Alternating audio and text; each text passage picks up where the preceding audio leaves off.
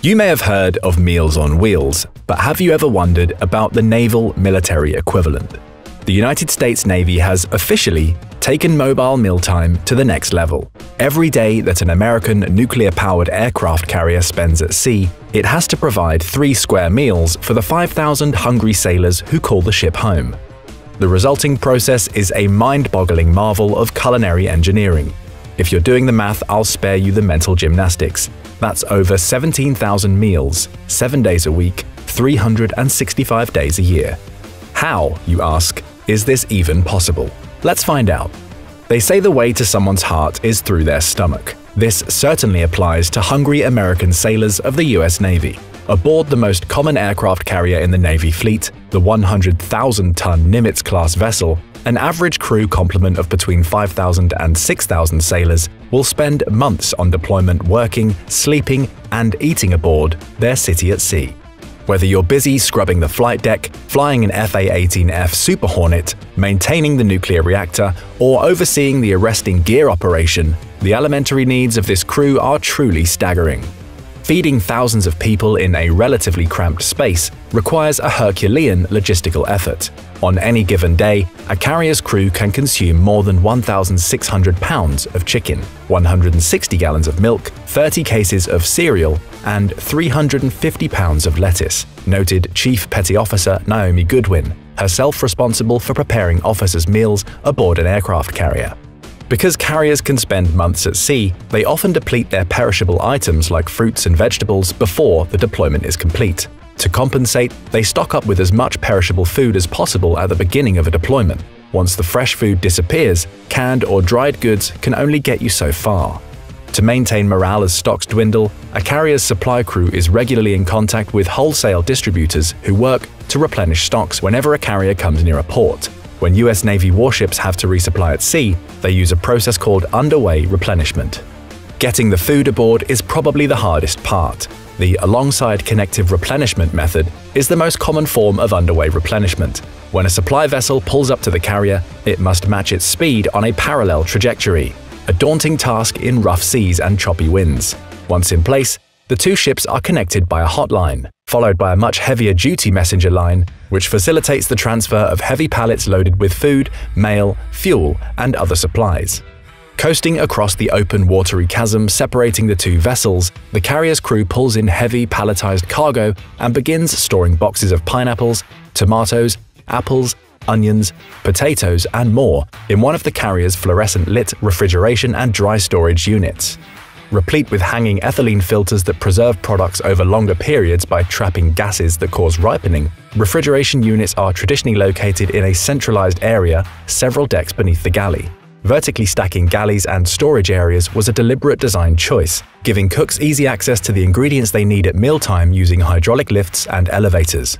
Resupply occurs every week or so, adding between 400,000 and 1 million pounds of food to the carrier's stocks. If necessary, supplies can also be delivered vertically via helicopter or light aircraft when the situation arises.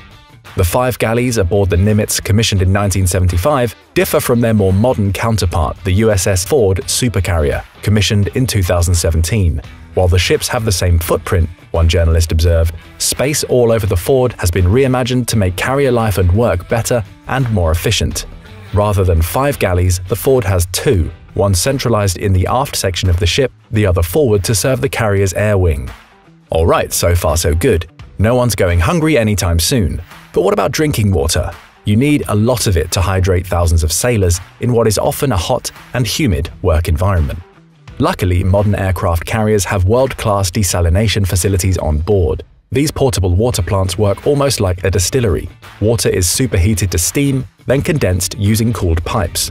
Minerals are added as the water is filtered for drinking and general use. All this is powered using the ship's nuclear reactor, which itself only has to be refueled every 25 years. Pretty amazing stuff. While we're on the topic of facilities, wondering what kind of monster kitchen you'd need to service all these sailors, here's the thing. It's not about size, it's about efficiency. A carrier's cooking facilities have been well designed to cater to the masses. They have to be. A carrier is designed for efficiency. Below deck, snaking maze-like corridors and tiny rooms take advantage of every inch of available space. Kitchens are cramped, filled to the brim with the latest industrial cooking machinery, huge stoves that make the temperature soar in that confined interior space, automated self-cleaning convection ovens that can cook any kind of meat in a variety of ways, commercial-grade mixing bowls, rows upon rows of warming trays, soup vats, tilt skillets, deep fryers, broilers, commercial toasters, microwaves, food storage containers, drying racks, bussing carts, food processors, prep tables, blenders, and more. All this equipment enables culinary specialists to cook huge batches of food for the sailors aboard. What does it all cost to feed a crew this size? Well, grab your wallet because it'll cost a pretty penny. Senior Chief Francis Pattle, a culinary specialist aboard the George H.W. Bush, estimated that the Navy spends somewhere between $45 to $65,000 a day on food at sea. That's $1.8 million a month. It's pretty good bang for your buck considering what you get, 16 to 18,000 meals a day, from 6am breakfasts through to the aptly named midrats or midnight rations. But how do the meals actually get prepared? Teams of chefs, known as culinary specialists, form the dream team aboard the carrier. There are around 93 culinary specialists in all who follow a strict 15-day menu cycle to simplify the meal selection process. The regimented cooking process has been optimized for mass production, Cooks spend hours bulk prepping huge batches of food, a constant responsibility that can be monotonous at times. To add variety to their own schedules, junior cooks are trained on different tasks to make them more versatile in the galley. It is hard work, sometimes at strange hours. The breakfast shift can wake up as early as 3 a.m. to have enough time to prepare enough pancake batter, sausages, oatmeal, eggs, and bacon to go round, Cooks tend to work 12 to 16 hour shifts that involve prep work, serving, and cleaning. Punctuality and quality are key. Culinary specialists are held to high standards, the same as those they serve, on a daily basis. Special meals punctuate an otherwise routine menu offering. Anything from Taco Tuesday to a Mongolian grill and a special birthday meal each calendar month that can include a tablecloth, wine glasses, nice music, and a main course of prime rib or lobster are sure morale boosters. On most naval vessels, officers eat in their own mess, known as a wardroom, smaller and more refined than the canteen area. An officer's mess boasts padded chairs, tablecloths, and glasses of Coke garnished with slices of lemon. In the wardroom, cooks stick to the same menu cycle as their counterparts in the general mess, but smaller amounts of people to feed, in the hundreds rather than the thousands, means they can take time to cook and present the food a bit more luxuriously. The wardroom, of course, still isn't the finest dining establishment aboard ship. That is reserved for the captain's cabin, a modest-sized room with hints of the old-fashioned ocean liner about it, where a personal chef diverges from the standard menu, preparing fresh meals for the captain and their guests from whatever ingredients they can find on the ship. Yes, sailors on deployment tend to eat far better than their land-based counterparts in the field. Nobody eats MREs at sea, Underway replenishment adds freshness to shipboard food, even if it is prepared on an industrial scale. One of the favorite meals at sea is chicken wings, but to serve it, culinary specialists must prepare 1,600 kilograms of chicken each time, a number that reinforces the logistical scale of this insane feeding operation. To bring in that home-cooked taste, bakers make use of massive 60-pound dough mixers to make their own bread, rolls, cookies, and other baked goods. Cooking meals from scratch, sometimes in the view of the serving area, communicates how much the Navy values its service members. Veterans often complain that naval chow served in decades past was subpar and inedible. Today that's no longer the case. It may not be your mother's cooking, but daily meals are meticulously planned and served to be as calorically dense and nutrient-rich as possible. They have to be to fortify sailors working hard on their feet, day in, day out. A look into a daily shift for a culinary specialist reveals how much effort is required to cook for an entire carrier crew. At mealtime, broad, heated grills are prepared and manned by young cooks who have the raw food at hand. If, say, a cook is serving lamb, he arranges lamb chop after lamb chop in neat rows until the entire surface is covered with meat, 150 chops at least. By the time the last one is in place, it's time to return to the beginning and flip the meat over to cook on the other side. If the chefs are cooking roast beef, they will slice roughly 600 pounds of meat per meal. Dinner is perhaps the busiest meal of the day. By evening, the main eating bay becomes crowded. Serving lines quickly materialize as sailors find their way to the commissary for some hot chow. Each grabs a plate, utensils, a cup, and napkins, cleaned during downtime by members of the culinary specialist crew, and begins indicating what they'd like served. Back in 2011, a journalist for the National News observed this process firsthand. Mashed potato and steak with gravy is proving to be a popular choice, but there's also barbecue chicken, stir fry, pasta, and chicken with tomato sauce on offer. Three young sailors, Jennifer Penna, Elvin Carmona Rivera, and Sarah Strong, are lingering in the cafeteria area, having just finished their meals. They say that while the food on board is perfectly fine, the special fried rice is a particular favorite. They do crave homemade rather than mass-produced meals.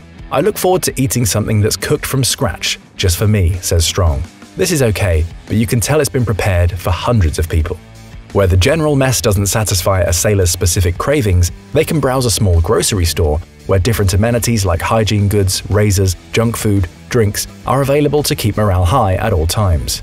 Carrier grocery stores can make $10,000 a day, showing just how vital they are to the ship's daily operations. Even if it isn't the freshest or most gourmet offering, the fact that the Navy can provide hot chow thousands of miles from land in any condition is nothing short of a modern marvel. It is true that by the time naval sailors reach land once more, they are eager for fresh cooked food they might once have taken for granted. Wood-fired pizza, mum's home-cooked lasagna, freshly squeezed orange juice, and more are the tantalizing rewards of a deployment well done. This doesn't detract from the impressive service on display in the galleys and storerooms of America's aircraft carriers. The science and logistics behind the process of cooking at sea is truly impressive. Spending 7 to 10 months at a time at sea, cooking crews ensure that good food is prepared and delivered in spades on time every day. Have you ever tried Navy chow aboard an aircraft carrier or experienced anything like the Navy's feeding operation? Let us know in the comments, and don't forget to subscribe for more military analysis from military experts.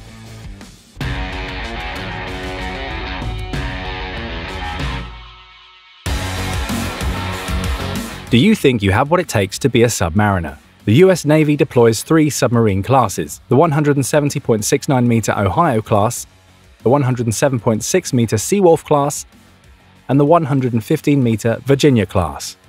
Not for the claustrophobic, perhaps, but otherwise livable, or so it seems. Now imagine sharing that tight space with about 150 other people on deployments that last months at a time with little or no outside communication, and you have your basic submariner's lifestyle. It can be hard to get along with other people in such close proximity for six months at a time, especially when you'll likely need to wind up sharing your bed with someone else.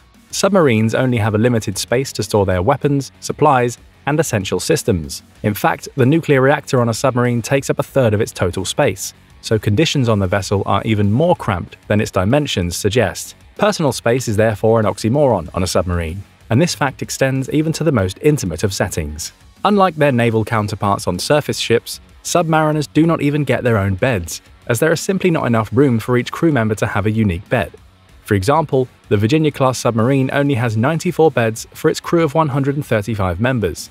The crew must therefore rotate in and out, with some members on duty and others taking their chance for sleep in the downtime. Each sailor has an 8-hour shift of duty. Submarines are often unsanitary, even going to the bathroom is difficult. Flushing the toilet sends waste to one of three sanitary tanks that are meant to eventually discharge outside the vessel and into the sea. However, if the valves involved in the process of discharging are not lined up correctly, the urine and excrement are sent somewhere else on the vessel, which can include the kitchen. The cramped nature of a submarine naturally lends itself to argument and conflict. Even disciplined sailors might find it tough to cope. Successful submariners must get along with one another, though, because they won't be able to talk to anyone else for a long time. Surface ships which patrol the blue oceans don't have constant internet access, but submerging beneath the waves brings communication difficulties into a league of their own. Forget taking calls, much less going on Skype or Zoom, even emails can't get out most of the time, and submarines can spend as many as 90 days of their deployments completely submerged. So submariners can disappear for months on end to their friends and family members back home, which probably adds a lot of stress to marriages. With such cramped conditions and sparse communications for months on end, submariners need to have something to pass the time, and watching TV is not an option. Instead, crew members often participate in rituals. One of them includes running through a gauntlet of ice-cold water hoses, sometimes with urine in the mixture, while holding an M&M to place in a comrade's belly button at the end of the journey.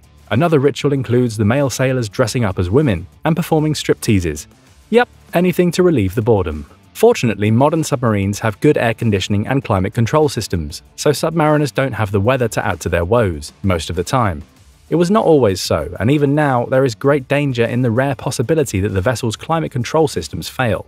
One such incident occurred in 2011 when a Royal Navy submarine patrolling in the Indian Ocean saw its air conditioning fail. Temperatures on the vessel rose rapidly, reaching 140 degrees Fahrenheit, and many of the crew collapsed.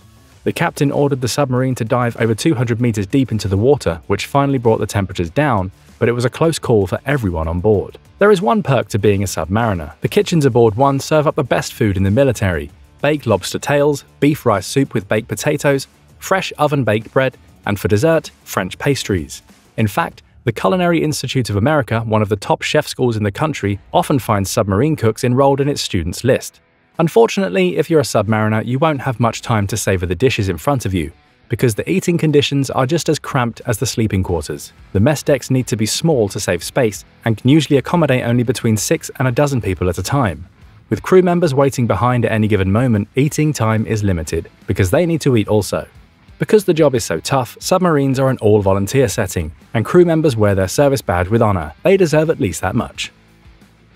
The F-22 Raptor was the world's most advanced fighter jet when it made its first flight in 1997.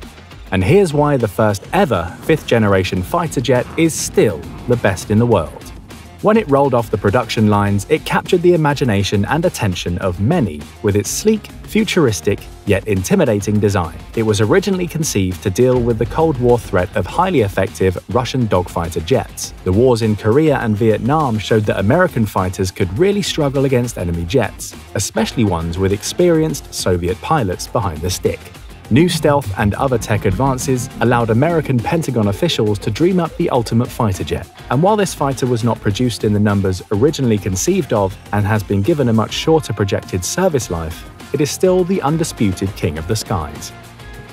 The F-22 Raptor's story begins in the early 1980s. Eager to maintain America's edge in air superiority fighters, the US Air Force began looking for a replacement for the F-15C Eagle. In 1990, a fly-off between the Northrop YF-23 and the Lockheed Martin YF-22 resulted in the service choosing the YF-22, later renamed the F-22 Raptor, as a future cornerstone of American air power. Early on, the US Air Force believed that 750 of the new fighters would cost approximately $26.2 billion. By 1990, with the Cold War virtually over, President George H.W. Bush's administration trimmed the buy to 648 aircraft. By 1997, that number dropped again to just 339. And by 2003, the number had been reduced again, this time to 277. By 2009, that number was cut once more to just 187 units, plus 8 testing and development aircraft, and the production line was terminated. While a combination of factors led to this massive decrease in fleet size, it was a lack of any adversary for the F 22 to really take on that pushed it over the edge. The Pentagon just could not justify the high price tag without any other nations even being close to fielding a comparable fighter. The program's path to deployment was a long one too. The Advanced Tactical Fighter Project, which would lead to the F 22 Raptor, began in 1981. The plane's prototype, the YF 22, had its first flight in 1990, and the aircraft achieved initial operating capability in 2005, meaning there were 24 years from inception to a final combat-ready aircraft being delivered. By comparison, the F-15 Eagle went from design selection to first flight in just seven years, from 1965 to 1972, and achieved initial operating capability in 1976, after only 11 years. In other words, the F-22 took more than twice as long to develop than the F-15. During that time, the Soviet Union went from competing superpower to the dust heap, dissolving in 1991. The mighty Soviet Air Force was broken up among the surviving republics, and fighter development in the newly formed countries was restricted to upgrading existing designs, such as the MiG-29 and the Su-30. Few in number and flown by pilots with minimal flight hours during the lean economic years of the 1990s, they presented no compelling reason to rush the F-22. The F-22 also gained an air-to-ground capability during this time, extending its usefulness. The F-22 was also a victim of the wars in Iraq and Afghanistan. The immense cost of supporting two low-intensity conflict wars simultaneously made expenses for fighting a peer competitor who didn't actually exist at the time difficult to justify. In fact, the F-22 wasn't deployed to Iraq or Afghanistan at all. with its only fight being a budget battle against weapon systems vital for the wars the United States was actually fighting. The F 22 was, fairly or not, often depicted as a program funded at the expense of the mine resistant ambush protected vehicles that saved ground troops in Iraq and Afghanistan from the dangers of improvised explosive devices. The lengthy development period also put the F 22 in indirect competition with the F 35 Joint Strike Fighter. Although different aircraft designed for different roles, the F 35 was a cheaper aircraft with similar, and in some cases greater capabilities than the F 22, and it apparently played a role in Defense Secretary Robert Gates recommending F 22 termination. As Gates did so, he recommended accelerating the F 35 program instead. Gates predicted that the United States would have 1,700 F 35s by 2025, a number that, given the cost overruns and delays of the controversial program, the Pentagon is unlikely to meet. Yet even with a limited number of these fighters and no new ones set to roll off, they remain one of the main capabilities boasted by the world's greatest air force. And here's why. Each engine produces 35,000 pounds of thrust, more than any other fighter in the world today. One M61A2 20mm cannon with 480 rounds, internal side weapons bay carriage of two AIM-9 infrared air-to-air missiles, and internal main weapons bay carriage of six AIM-120 radar-guided air-to-air missiles or two 1,000 pound GBU 32 JDAMs and two AIM 120 radar guided air to air missiles. The combination of the sophisticated aero design, high thrust to weight ratio, thrust vectoring, and advanced flight controls allows the aircraft to outmaneuver any adversary currently in existence. When we combine the intense armament, maneuverability, and overall power of the aircraft with its stealth profile, something that provides it with a radar cross section the size of a marble, we see a nearly unbeatable air superiority aircraft. Even though this is still the undisputed king of the skies, its days are unfortunately numbered. The Air Force is far more committed and confident in the F 35 for the future, and is even rumoured to already be working on a sixth generation aircraft.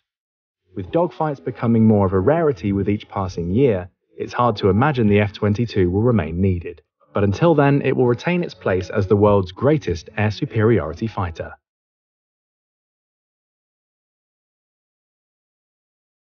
Have you ever wondered how unpredictable forces of nature have shaped the fate of naval operations? Even in the modern era, the weather has always been of decisive importance in military campaigns. At sea, the danger of bad weather is even more pronounced for military personnel than on land.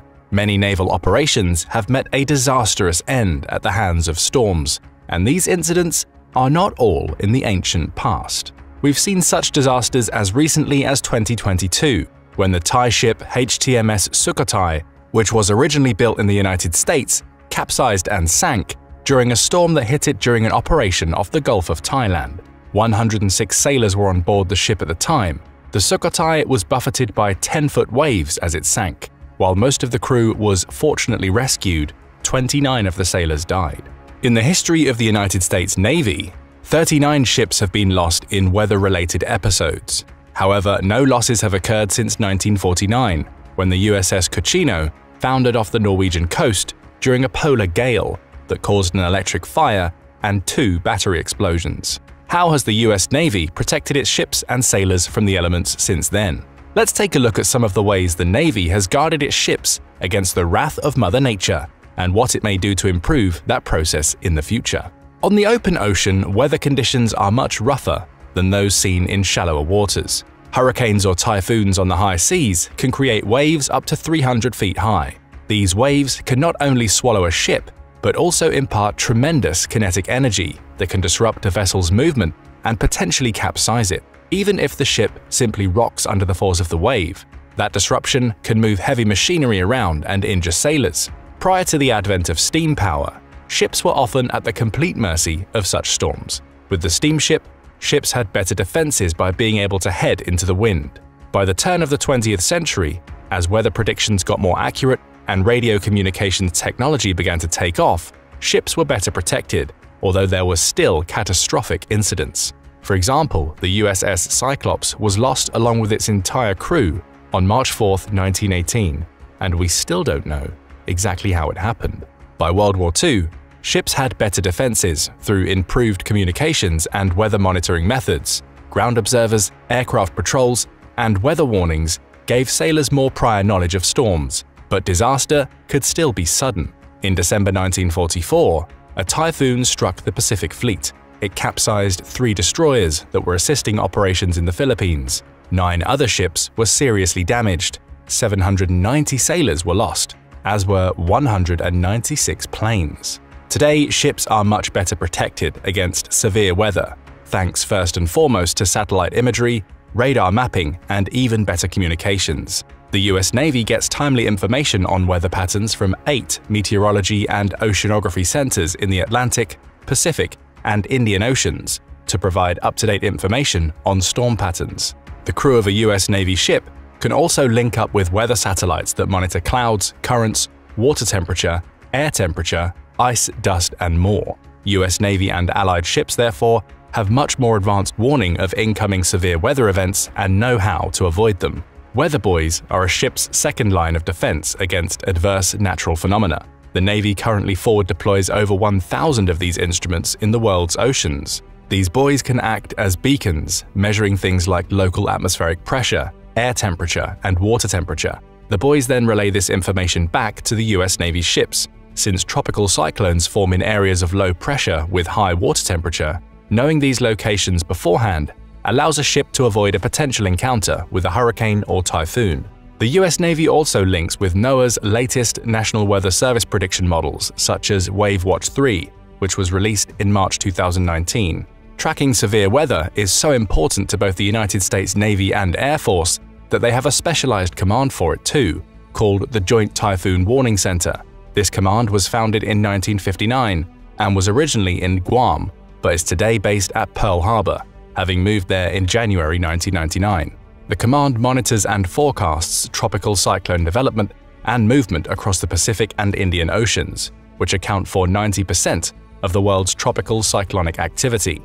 With the elevated importance of the Indo-Pacific region in today's geopolitics, the JTWC is even more important for the US Navy than it was at the start of the 21st century.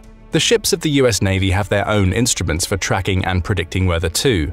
These include anemometers to track wind speed and direction, barometers to measure atmospheric pressure, and localized weather radars to detect storms and rainfall. With all of these tools and data, US Navy navigators are well prepared to plot optimal routes, moving to areas of higher pressure, clearer skies, and calmer seas. These tools allow naval navigators the ability to optimize the speed and direction of their vessels to keep them level with the waves. Such procedures not only prevent the ship from capsizing, but they also help to keep the crew healthy by preventing seasickness. However, severe weather events are often unpredictable even with advanced warning and predictive models.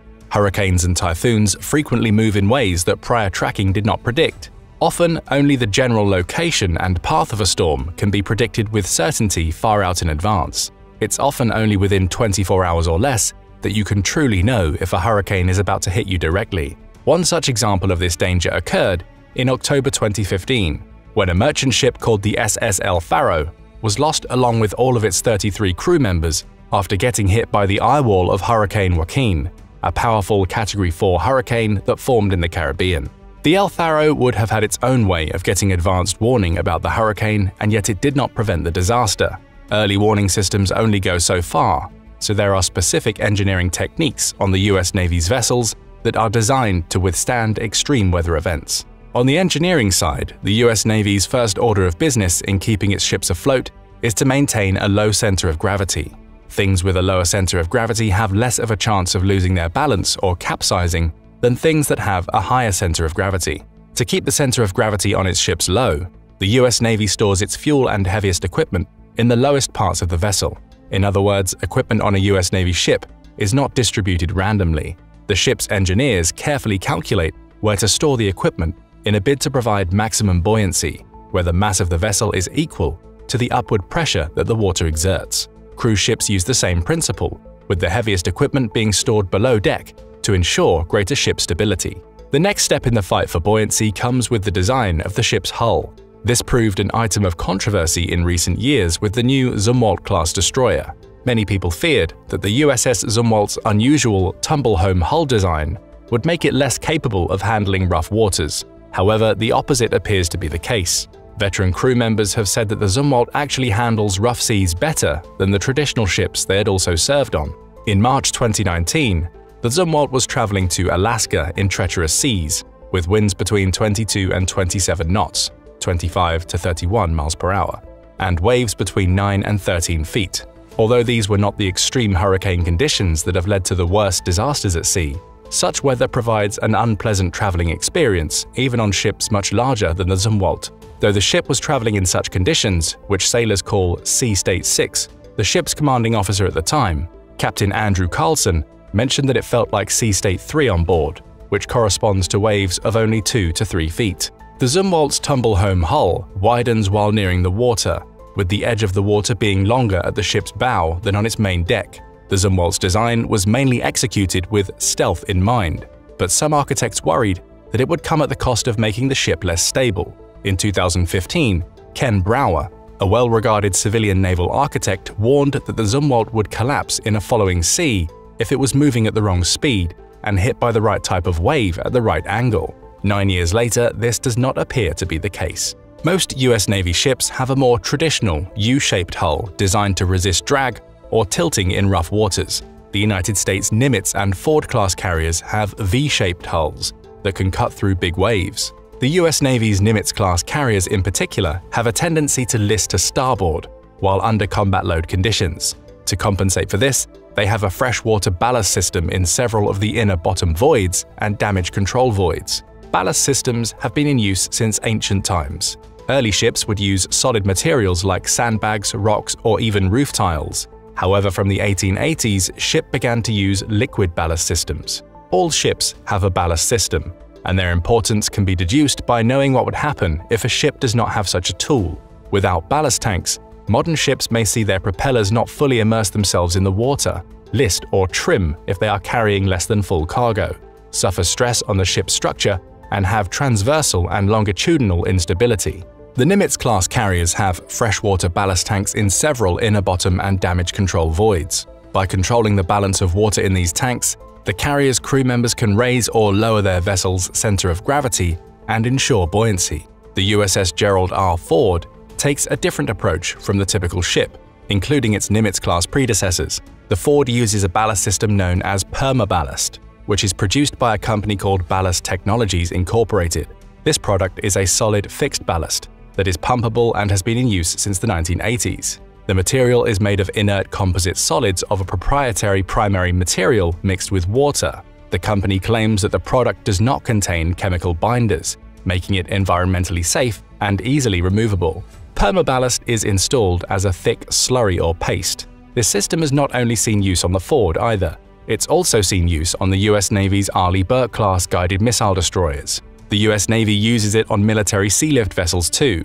Some frigates in New Zealand's Navy and assault ships in the Australian Navy also use the permaballast material. But hull design and ballast systems are far from the only methods that the US Navy and many other ships besides have in place to ensure that vessels can stay at sea during storms and huge waves. Other technologies are put into play.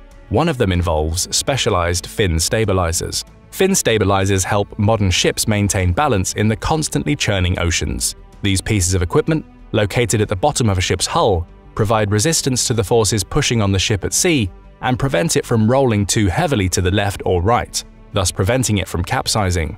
Because fin stabilizers are built near the bottom of a ship's hull, most people don't see them. They are often only visible when a ship goes into dry dock. For ships of the US and other navies, fin stabilizers are even more important as they provide the platform stability which is critical in carrying out missions. Imagine an aircraft carrier rolling too heavily to the left or right on encountering rough seas, for example. In such circumstances, it would be impossible for the carrier to launch its planes. Similarly, ship stability is critical for other ships to launch their missiles or fire their guns. Without fin stabilizers, the US or other navies would be hard-pressed to carry out their missions unless the seas are calm. However, since calmer seas are closer to land, this would limit one of a modern navy's strongest attributes, the ability to strike a target on land from hundreds or thousands of miles away. Thanks to fin stabilizers, carriers can launch their planes, and other ships can launch their missiles in almost any type of weather condition. There are two fin stabilizers on a modern ship, one to port and one to starboard. Each of the fin stabilizers has its special designated room from which it's controlled and operated. There is a fin box in each of these rooms which contains the fin and the machinery needed to control it. Standard ships come with stabilizing fins that can be raised or lowered by 25 degrees. The stabilizing fins can be remotely operated from the ship's bridge. Additionally, ships of the US Navy and most other modern ships come with gyroscopic stabilizers. These consist of spinning, vacuum-enclosed spheres mounted in a gimbal frame. These frames are then attached to special locations on a ship, usually in the engine room. These spheres, which maintain rotational motion, create angular momentum which combines with the ship's rolling motion. The combination of these two forces produces a leveling torque that keeps the ship stabilized and requires no further human intervention to work properly. Computer systems on the ship's bridge can adjust the tilt of the gyroscopic stabilizers as weather conditions require.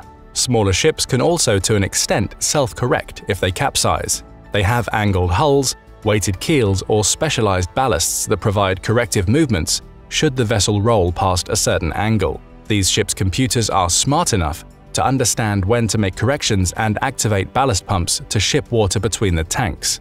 This will provide a stabilizing force to correct the ship's tilt and keep it upright. The Navy's aircraft carriers are far too large for this kind of technology, but smaller coastal vessels and inflatable craft have these features. Coast Guard ships often have them as well. Naval engineers continue to develop technology to improve their craft and reduce risk to the ship. They are increasingly choosing to use composite materials to reduce the ship's weight and better prevent corrosion. It's also certain that artificial intelligence will be developed to better monitor and predict weather patterns and prioritize important information for presentation to a ship's crew. In a scenario that might make some science fiction fans worry, it's also possible that AI will make certain decisions on navigation and ship stabilization automatically so that human crews can direct their attention to the most urgent tasks. Through machine learning, these AI programs will get better at recognizing potentially adverse conditions and responding to them more quickly. Technology might get the most attention, but having the proper personnel to operate and maintain it is just as critical. Because the US Navy has a global mission, it's critical to keep a significant number of ships at sea at any given time. These ships must travel thousands of miles and stay at sea for months on end, with the necessity to carry out tasks and missions at any time. This is why US Navy sailors are carefully trained to maintain their vessels. There are three main categories for maintenance tasks in the US Navy – preventative, corrective, and overhaul. As the name implies, sailors assigned to preventative maintenance are tasked with upkeep of the ship's structure and equipment so that problems do not show up in the first place. Preventative tasks include routine inspections, lubrication of the ship's machinery, and routine tests of equipment. Corrective maintenance tasks, also as the name implies, are for when problems show up in a ship's operation. Damaged or malfunctioning equipment must be repaired with speed to keep the ship at sea, since each vessel depends on its gear working properly. As we've seen, the failure of even one critical piece of equipment can mean danger for the entire ship and crew, especially in rough weather conditions. For example, fixing the frequent problems on the Navy's littoral combat ships such as engine troubles fall under corrective maintenance. While being able to perform corrective maintenance is an essential part of a sailor's duty, this work can sometimes be filthy, especially on a ship that's not well designed. For example, in July 2016, the USS Freedom LCS suffered a leak in its machinery room, water mixed with oil to create a sludge that went through one of the four engines on board. Sailors had to clean this mess up in corrective maintenance. Finally, there is overhaul maintenance, a much more comprehensive category than either of the other two. Overhaul maintenance involves putting a ship into dry dock so that the hull is fully exposed and out of the water. In dry dock, sailors and civilian contractors can perform upkeep on equipment that's typically not visible, such as the ship's rudders and propellers. Those tasked to do overhaul maintenance on a ship can take entire systems apart, repair them, and put them back together. The troubles on board the USS Freedom can be taken as an example. An inspection of the ship after its participation in the 2016 Rim of Pacific RIMPAC revealed that salt water had leaked into the engines and corroded them. The USS Freedom needed to be put into dry dock and repaired for two years' worth of overhaul maintenance. Navy sailors and civilian navigators are not only trained to do maintenance, however. They are trained and retrained to respond to emergencies. Drills would include engine room fire and flood exercises, oil spill drills, and blackout training drills, which include response procedures should a ship lose power. In the latter scenario, a ship is at the mercy of the weather, since it has no force to counter the wind and current. Sailors must restore power to the ship to prevent a disaster. The US Navy also has abandoned ship drills and survivability training should the worst-case scenario happen. In the latter drill, crews will train on how to jump into the ocean from the deck of a ship, prepare lifeboats, life jackets, and the necessary survival equipment should they need to resort to such measures. Less dramatically, sailors also participate in frequent drills designed to rescue crew members who have fallen into the sea by accident. Virtual reality training is also taking off in the US Navy and among its allies. For example, the Royal Navy is using virtual reality simulators to recreate a variety of its vessels. These simulators allow crew members to familiarize themselves with a ship's structure and tasks so that decision-making in the real world can happen more easily and rapidly the world of navigation has come a long way from the age of sail, where unpredictable weather and wind or muscle-based propulsion meant frequent shipwrecks. Such things may seem like a thing of the past. However, the incidents with the El Faro and HTMS Sukhothai revealed that Mother Nature will always find ways to wreck the best-laid human plans and engineering. What potential flaws do you think might still be present in the Navy's ships, past or future? What other advances do you suspect might be on the horizon in humanity's constant race for mastery over Mother Nature? Don't forget to let us know in the comments. Also, please make sure to hit the like button and subscribe to the channel for more military analysis from military experts.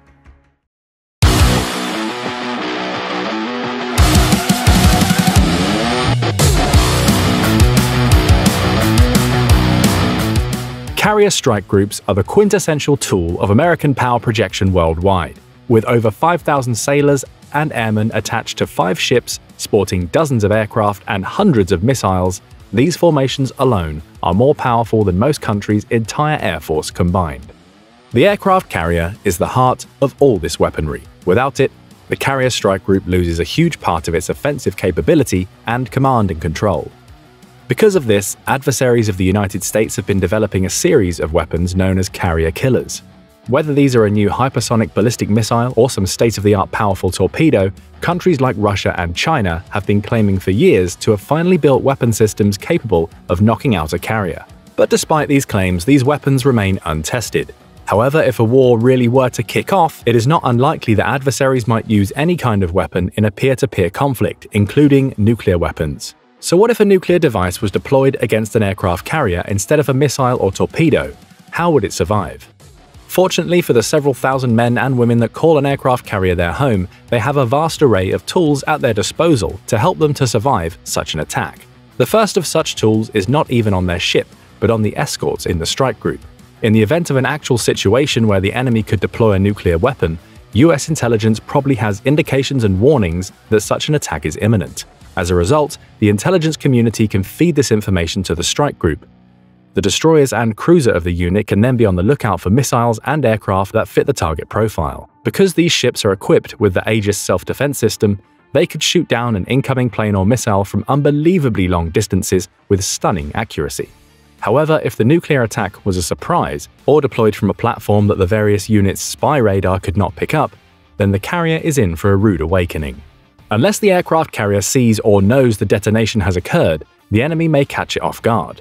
This is because, unlike chemical and biological agents, the ship does not have early warning of radiological contamination. For chemical and biological agents, the carrier is equipped with an integrated point detection system and a joint biological point detection system, respectively. All of the US military branches joined forces in the 1990s and worked on a reliable way to detect these types of agents. What resulted was a system that could test for some of the world's most common chemical and biological agents. If one or both of these systems detects a dangerous substance, a loud alarm is set off throughout the ship. While no such system exists for radiological contaminants, because of a nuclear weapon's nature, the ship will more than likely have received a prior warning and could start taking immediate action to protect the ship. A carrier's first action would likely be to set general quarters or GQ, when sailors hear the distinctive, repetitive bong on the 1MC, the central announcing system, they know it's time to spring into action. Why the ship would go into GQ for a nuclear attack is twofold. First, a nuclear blast is likely to cause a tremendous amount of damage to the ship. Even the shockwave can cause things like ruptured pipes, loss of power, cracked bulkheads, and other damage. Second, the nuclear strike could be part of a bigger, more coordinated attack, and the ship would still need to be ready to defend itself from other conventional forces like aircraft or submarines. Because of this, those sailors not busy maintaining the ship's integrity are preparing to protect it from follow-on attacks. Once the CO calls away GQ, the first action the ship's repair lockers will take will be to set the right material condition of the ship. All Navy ships have different readiness conditions based upon the type of threat faced. In port, the ship could be in a less restrictive condition like yoke, where many hatches and scuttles are left open. For material condition Zebra, the most restrictive, every door, hatch, scuttle, and valve on the ship is shut to prevent cascading casualties. But for a nuclear attack, sailors would set something called Circle William. For Circle William to be set right, all of the fittings that connect to the outside will be closed. Any pipe, ventilation intake, or door that leads to the weather decks is secured. Perhaps the most critical aspect is ensuring that the collective protection system zones are correctly set. The Collective Protection System, or CPS, is the system on board Navy vessels that keeps the ship pressurized to prevent foul air from coming inside. Each ship is divided into CPS zones, and the carrier is no different. By keeping positive control of CPS, sailors can ensure that even if contaminated air comes in through a Circle William fitting, the pressure difference will prevent the radiation from spreading far. But of course, the ship cannot prevent all air from coming inside. After all, various systems on board need to draw in air from the outside to function. To solve this problem, the Navy created a unique method of filtering air when the ship has to operate in a nuclear environment. For systems that need to draw in outside air, they put it through massive fan rooms. These fan rooms are split between a clean side and a dirty side. The dirty side is where the pressure differential sucks the air into the room, and the clean side is where the filtration happens. Here, massive charcoal filters clean the highly pressurized air of contaminants before it gets introduced into the CPS system.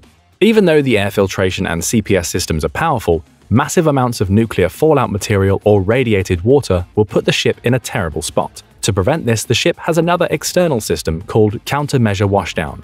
Countermeasure washdown is essentially a giant sprinkler system, and it is fed through the ship's fire main loop that draws in seawater through sea chests on the bottom of the ship. The system is also split into multiple zones, with what looks like sprinkler heads spread throughout the ship's weather decks. When activated, Countermeasure Washdown sprays pressurized seawater all over the deck to keep the deck wet. By keeping it moist, contaminants are far less likely to stick to the deck and cause problems. If a nuclear attack occurs, the commanding officer can choose to use the system continuously or intermittently, depending on the commanding officer's discretion. For the individual sailors, they too have their own protection system, known as the Mission Orientated Protective Posture Suit. These plastic suits look similar to what US troops wore during the First Gulf War. The suit is composed of a pair of pants, overcoat, gloves, and shoes a sailor can place their boots into. The most important part of the suit is the mask. Before going on deployment, every sailor is individually fitted for their mask. The Navy does this because if the mask does not fit perfectly to a sailor's face, it's useless since even the smallest gap can allow deadly toxins into the suit. In a nuclear attack, all personnel would receive their gear. You might be thinking that sailors trying to get gear while the ship is actively engaged makes no sense, and you'd be right. In a real-world situation, the Navy has different levels of MOPP protection. At the least restrictive level, ships need to have enough masks and suits for everyone on board. As the likelihood of an attack increases, the carrier can elevate the MOPP posture, which could include actions such as preemptively spraying countermeasure washdown and issuing masks and suits to everyone who would then be required to keep them on station. In the worst case scenario where a nuclear attack is unexpected, waiting in line to receive MOPP suits and masks would be a serious problem. For this reason, the Navy is forward-leaning in getting equipment on station early. Another part of the individual kit for a nuclear attack is known as a dosimeter, a dosimeter looks like a little watch that sailors merely slip on their wrist. The device measures radiation, and if it's too high, it makes a beeping sound alerting the sailor to move and seek medical attention. But if a sailor gets exposed to too much radiation either inside or outside the ship, they do have an option. They can go through a decontamination station to purge themselves of outside radiation. Every ship has decontamination stations and the carrier is no different. Potentially contaminated sailors will make their way to their outer clothing undressing area and an attendant in a full MOPP suit will help cut off their contaminated MOPP suits and boots while keeping their mask on their faces. When directed, the sailor then heads into the inner clothing undressing area. Here, a sailor strips off all their clothes and gets a highly pressurized, cold shower from openings all around the space. Once showered, the sailor then steps into the air purge compartment, and after this step, is allowed inside the skin of the ship. However, the ordeal is not over just yet. Once a sailor steps outside, a corpsman is standing by with fresh clothes. and a damage controlman is waiting to measure the sailor's radiation with a radiac. A radiac is the only portable radiation measuring device the carrier will have. The DC man needs to ensure that the sailor has acceptable radiation levels. If not, they are taken to a secure area of the ship by a Master at Arms, or MA. The MA is armed with a pistol and may use deadly force to stop a sailor from running around the ship if they get freaked out when learning that they are now severely radiated. The Navy takes this precaution because the crew does not know what is causing the radiation on the sailor. In the eyes of the Navy, it is better to lose one life than risk the whole crew, but of course this is only a last resort. Those that are radiated that behave calmly are taken to isolation for further evaluation. Those sailors who are busy fighting the ship face a grim existence while at GQ for a nuclear attack. Because they risk contamination if they take off their suits, sailors are required to keep them on at all times. The masks have a hole to put a straw through for drinking, and sailors may remove them only to eat. Luxuries like toilets, showers, and fresh food are secured to save water because the ship cannot purify water contaminated with radiation. What water was left on the ship when the attack happened is what the ship has, and water usage for anything but drinking is strictly prohibited. Not only would sailors have to find inventive ways to use the bathroom, but they would have to sleep on station with their suits on and eat only MREs. Because of all these restrictions, a carrier would only have a short amount of time to keep this up, and the commanding officer would be trying to get as far away from ground zero quickly for crew endurance. Even with all these protective measures, that still may not be enough. If radiation does get into the ship at dangerous levels, or the ship has suffered such severe damage to not allow meaningful damage control efforts, the carrier's commanding officer has one last thing they can do to save as many lives as possible. Every class of ship and carrier is different, but the fact remains that on each one there are portions of the ship known as deep shelter.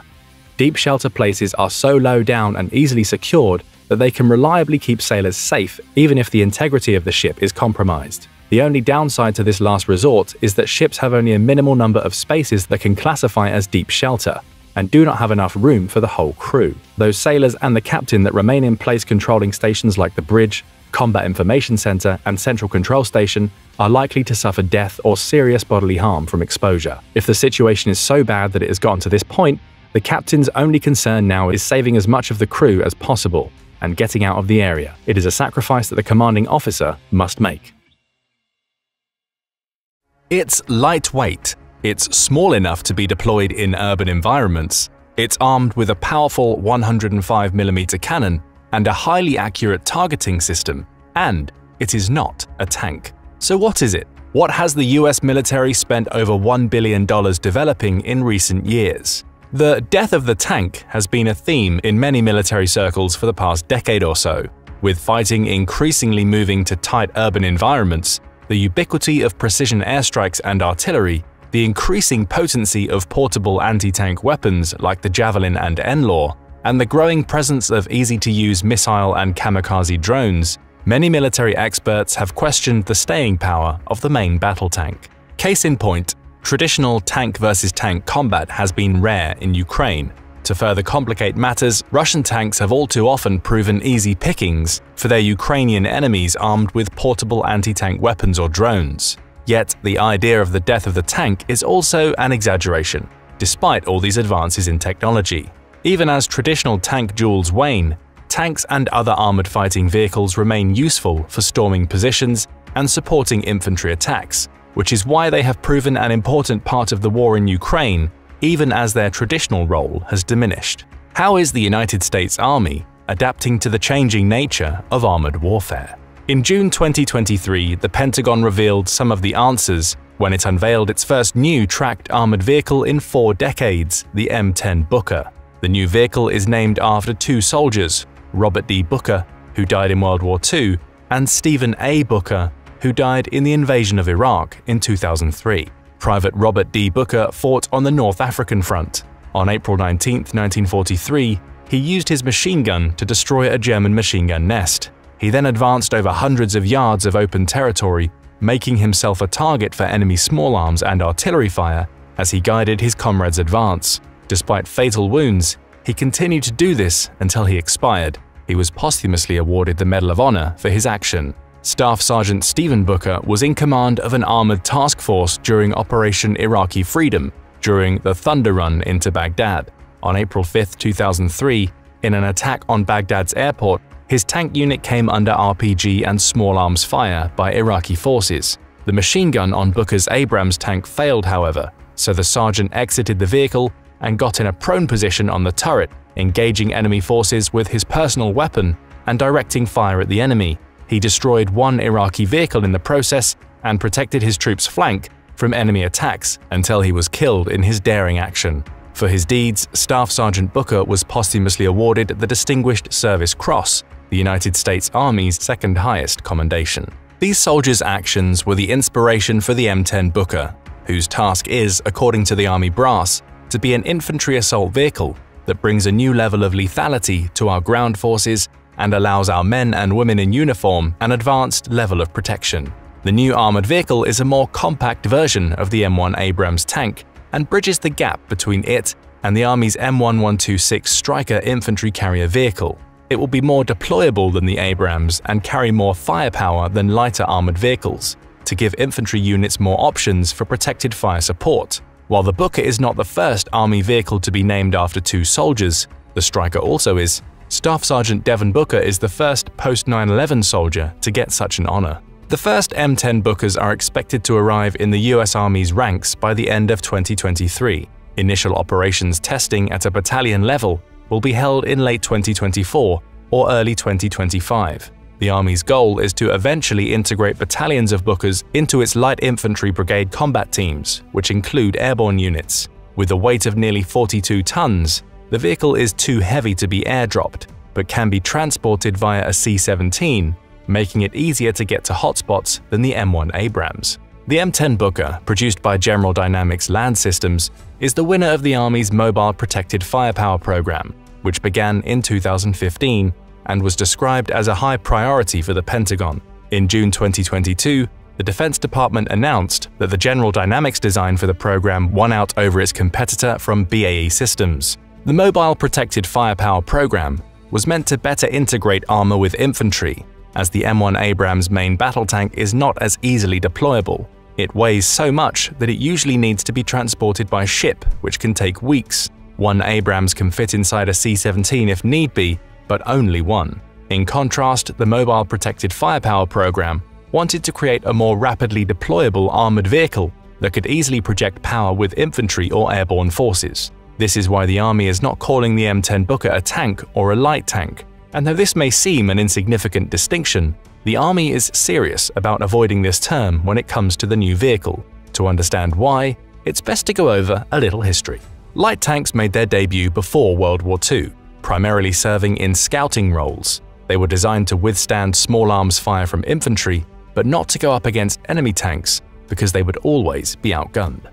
However, the development of effective portable anti-armor weapons such as the rocket-propelled grenade ensured that their usefulness on the battlefield had ended, even in a reconnaissance role. The M10 Booker does not resemble a light tank, but it also does not resemble a main battle tank. Instead, the Army is using a completely different term to describe its purpose – mobile protected firepower. The Booker may have been in part inspired by a World War II era vehicle called the M10 Wolverine, the first in the US Army to get the M10 designation. This vehicle had a 76mm main gun and was meant to provide quick, reactive anti-tank firepower.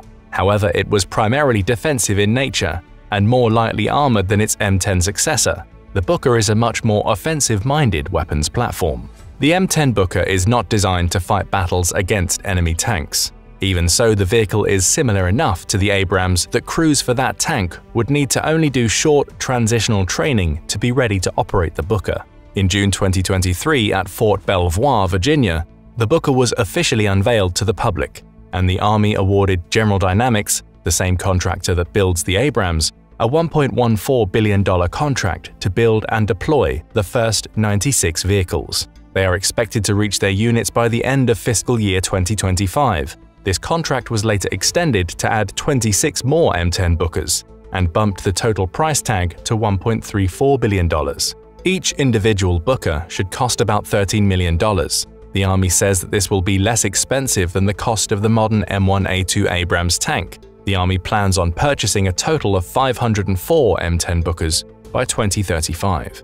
The M10 Booker's primary weapon is a 105mm gun.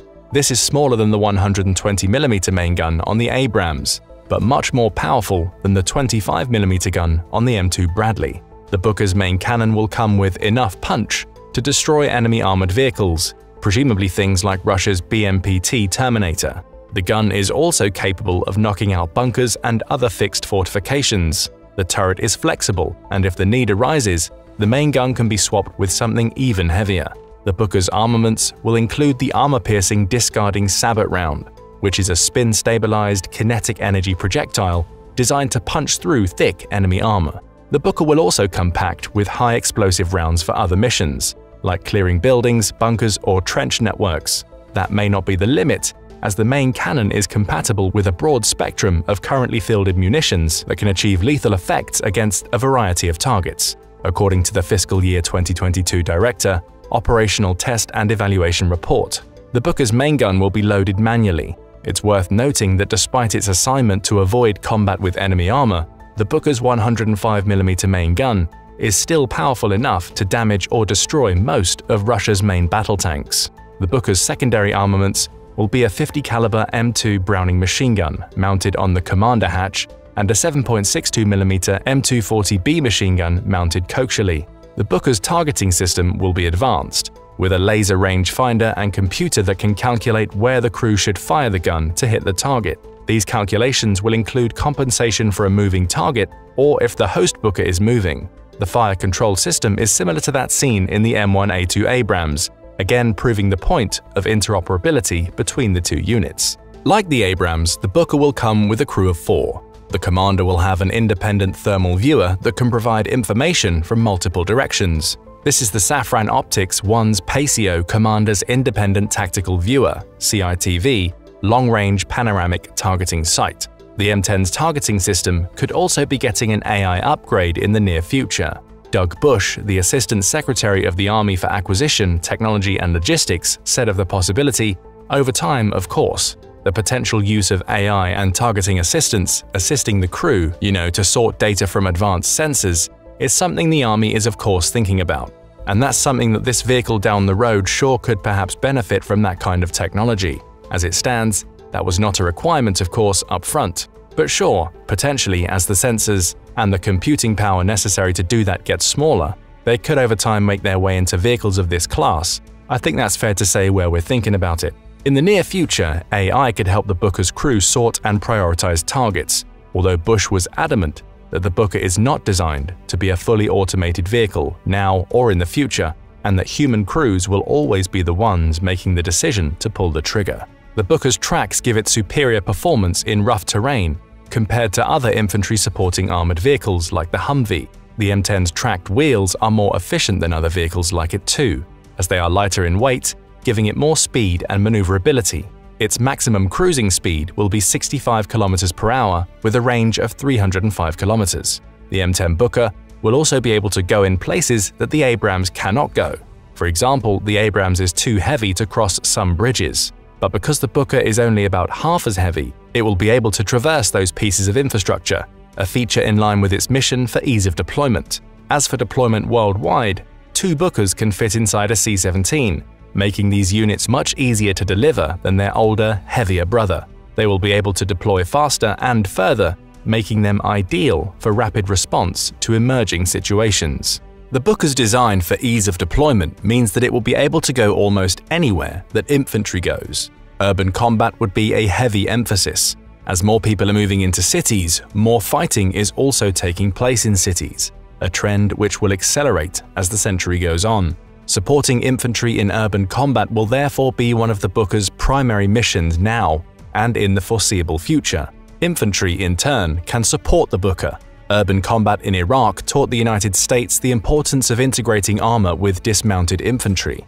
In such an environment, infantry can move around in the tight quarters, spot priority targets, and relay that information back to the Booker, which can then maneuver into position far more easily than an Abrams would in such a setting. From there, the Booker's weapons would open up and clear the targets. The Booker is versatile in other types of terrain. It can navigate steeper hills than other vehicles, it can also move across valleys and cross rivers, giving it access to hotspots that the Abrams would find much more difficult to reach. Since ancient times, armor has always been a trade-off between mobility and protection, and that was certainly the case with the M10 Booker.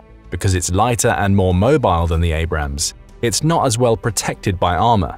Even so, it's a fairly durable vehicle, far more so than something like the M2 Bradley. The Booker's armor can hold its own against 30mm armor-piercing discarding sabot rounds from the front. Meanwhile, the vehicle can withstand 14.5mm armor-piercing rounds on its sides. The Booker comes with explosive reactive armor panels, which disrupt common enemy anti-tank weapons like RPGs, preventing them from impacting the main vehicle chassis. There are also measures in place under the vehicle to protect against mines and improvised explosive devices. The engine's placement at the front of the vehicle can also provide additional protection. For example, if the vehicle were hit from the front, the projectile would not directly impact the crew compartment, giving the Booker's operators more survivability. This is in contrast to the Abrams, which has its engine at the back and invests heavily in armor at the front. Like the Abrams, the M10 Booker has a compartmentalized ammunition magazine, a feature designed to insulate the crew should the ammunition explode. The lack of this feature is one of the reasons why so many Russian tanks have been blown skyward in Ukraine in jack-in-the-box style explosions. The Booker is also well protected from above. Its turret is designed to withstand hits from anti-tank missiles and loitering drones. Drones that can perform reconnaissance missions in the air for a while but also dive on targets and blow themselves up. However, because of its lighter armor, the M10 Booker's job is not to get into direct firefights with the enemy.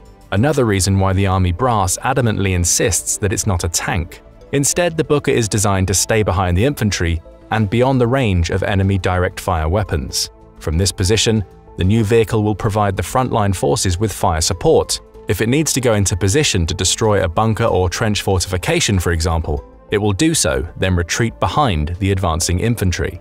The Booker's crew would be in constant communication with their infantry comrades, relying on them to direct it to safe routes free and clear of anti-tank threats. The M10 Booker also comes with smoke grenade launchers to enhance its concealability. The Booker will have less fuel requirements than the Abrams. Its 800 horsepower diesel engine can last for 24 hours, and the Booker will consume much less fuel if it's turned on but not in action, in contrast to the Abrams, which burns 12 gallons of fuel per hour even when idling. The engine itself is a Rolls-Royce MTU 8V199 power pack. 96 of these engines are on schedule for the low-rate initial production phase of the M10 Booker program. More engines will be delivered as the program moves into its broader production phases. It's the first time that the MTU serial production engine has been used to power a vehicle in the US Army's Land Defense Program, according to Scott Hansen, the Defense Director for Rolls-Royce Solutions America, the American subsidiary of Rolls-Royce Power Systems. These 6 and 8 cylinder engines are compact and come with high power. Despite promising signs, there have been a few issues with the Booker that will need to be resolved before the Army fields it. Early tests discovered elevated levels of toxic fumes when firing the main gun. The gun sent these toxic fumes into the main cabin of the tank. In early 2023, the Army explained that it was adding a purge system to clear the fumes from the crew area. By June, when the Booker was unveiled to the public, the Army announced that it had successfully fixed the issue. The M10 Booker's cooling system also needs to be improved so that the vehicle will need less maintenance and manage heat better, as it became overheated in initial tests under hot climate conditions. The Army said it would be working on a more efficient heat exchange, better cooling shroud, and larger fan and supply pump for the vehicle to overcome these challenges. Again in June 2023, the Army announced that the issue had been fixed saying that the Booker would be able to meet all of its performance requirements in high temperatures. The Army is also researching ways to make the M10 Booker quieter. This is important because stealth is one of the advantages of infantry, but adding something like the Booker to infantry units will naturally make them noisier and easier to detect. Infantry units will also need to carry the capability to repair the Bookers on the fly. When commenting for an article in military.com, Captain Matthew Adkins, who served as an infantry officer with the 10th Mountain Division in Afghanistan, said that anything mechanized will always break down or roll over in combat, and so having the maintenance capability nearby would be critical for the Booker to do its job. Despite these concerns, veterans of the Iraq and Afghanistan wars are generally optimistic about the new vehicle's place in the army. Retired Brigadier General Andrew Hilmes, an officer who was stationed only two tanks behind Staff Sergeant Booker on that day in Iraq, said that the new M10 would, when properly employed, help light formations rapidly mass combat power, penetrate a prepared defense, and harden themselves when performing security operations. Like many new systems in the United States Armed Forces, the M10 Booker is being designed with the idea of open architecture in mind. Because of this, it will be able to accommodate future upgrades based on the changing nature of its operational needs. Although this sounds modern, something similar has been at work with the Abrams, which was one of the reasons why its basic design has stayed around for over 40 years. The M1A1 and M1A2 Abrams are vastly different from the original M1 Abrams, an all-new main gun and turret is just one of the upgrades that came when the M1 was upgraded to the M1A1, demonstrating just how flexible these armored vehicles can be. It's too early to tell how the M10 Booker will change, although it's being installed with AI-assisted fire control systems and anti-drone capabilities at some point is probably a good bet. Either way, the M10 Booker's open architecture design should make it an important part of the US Army's ability to fight and project power across all terrains for decades to come. But what do you think about the Army's newest tracked armored vehicle? Will the M10 Booker prove to be as important a game changer for infantry support as the Pentagon is claiming? Is it, in fact, a light tank, despite the US Army's officers repeatedly saying that it's not? Don't forget to let us know in the comment section below the video. Also, don't forget to hit the like button and subscribe for more military analysis from military experts. The B-2 Spirit stealth bomber completely redefined the concept of air superiority. It was so far ahead of its game that it's never even been detected or targeted by an enemy weapon system during any of its missions. Why was this aircraft so ahead of its time, and what made it so dominant? How did this aircraft, which is nearly invisible on radar and is able to carry a payload that could level most countries, seemingly appear out of nowhere? From top secret research to classified materials, we'll unravel what made the B-2 bomber light years ahead of its time. The B-2 can actually trace its roots back to Nazi Germany. The Horten brothers had already conceived a concept which gives the B-2 its almost otherworldly design, the flying wing. The Horten 229 was able to achieve a speed of 500 miles per hour, far faster than anything else in the skies during World War II. Luftwaffe head Hermann Göring called for a lightweight bomber to help offset the growing fuel consumption demands of a multi-front war. Testing was nearing completion in early 1945, but as the war had turned overwhelmingly against them, the Germans were never able to field the plane.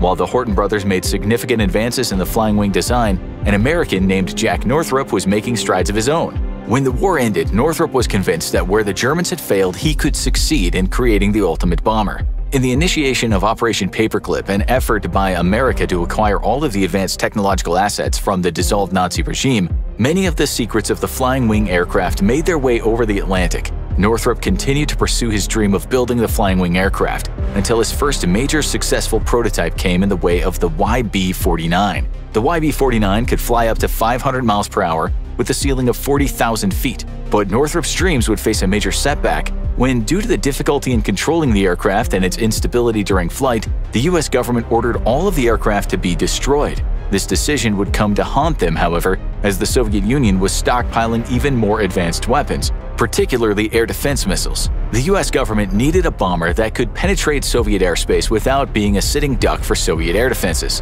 Air defense systems rely on an array of radars that detect incoming enemy aircraft so that fighters and anti-aircraft missile batteries can be activated. For much of the Cold War, the US relied on its fleet of B-52 Stratofortresses. While a very competent bomber on its own, the B-52 was becoming more and more vulnerable to Soviet ground-to-air missiles that could reach higher and higher altitudes. These air defense systems identify an aircraft by its radar signature. A radar signature is the feedback a specific object returns to a radar display due to its radar cross-section. Typical aircraft have a large radar cross-section when compared to other atmospheric objects like birds. With the B-52 having a huge radar cross-section due to its size, the top US military brass wanted a solution and they wanted it fast.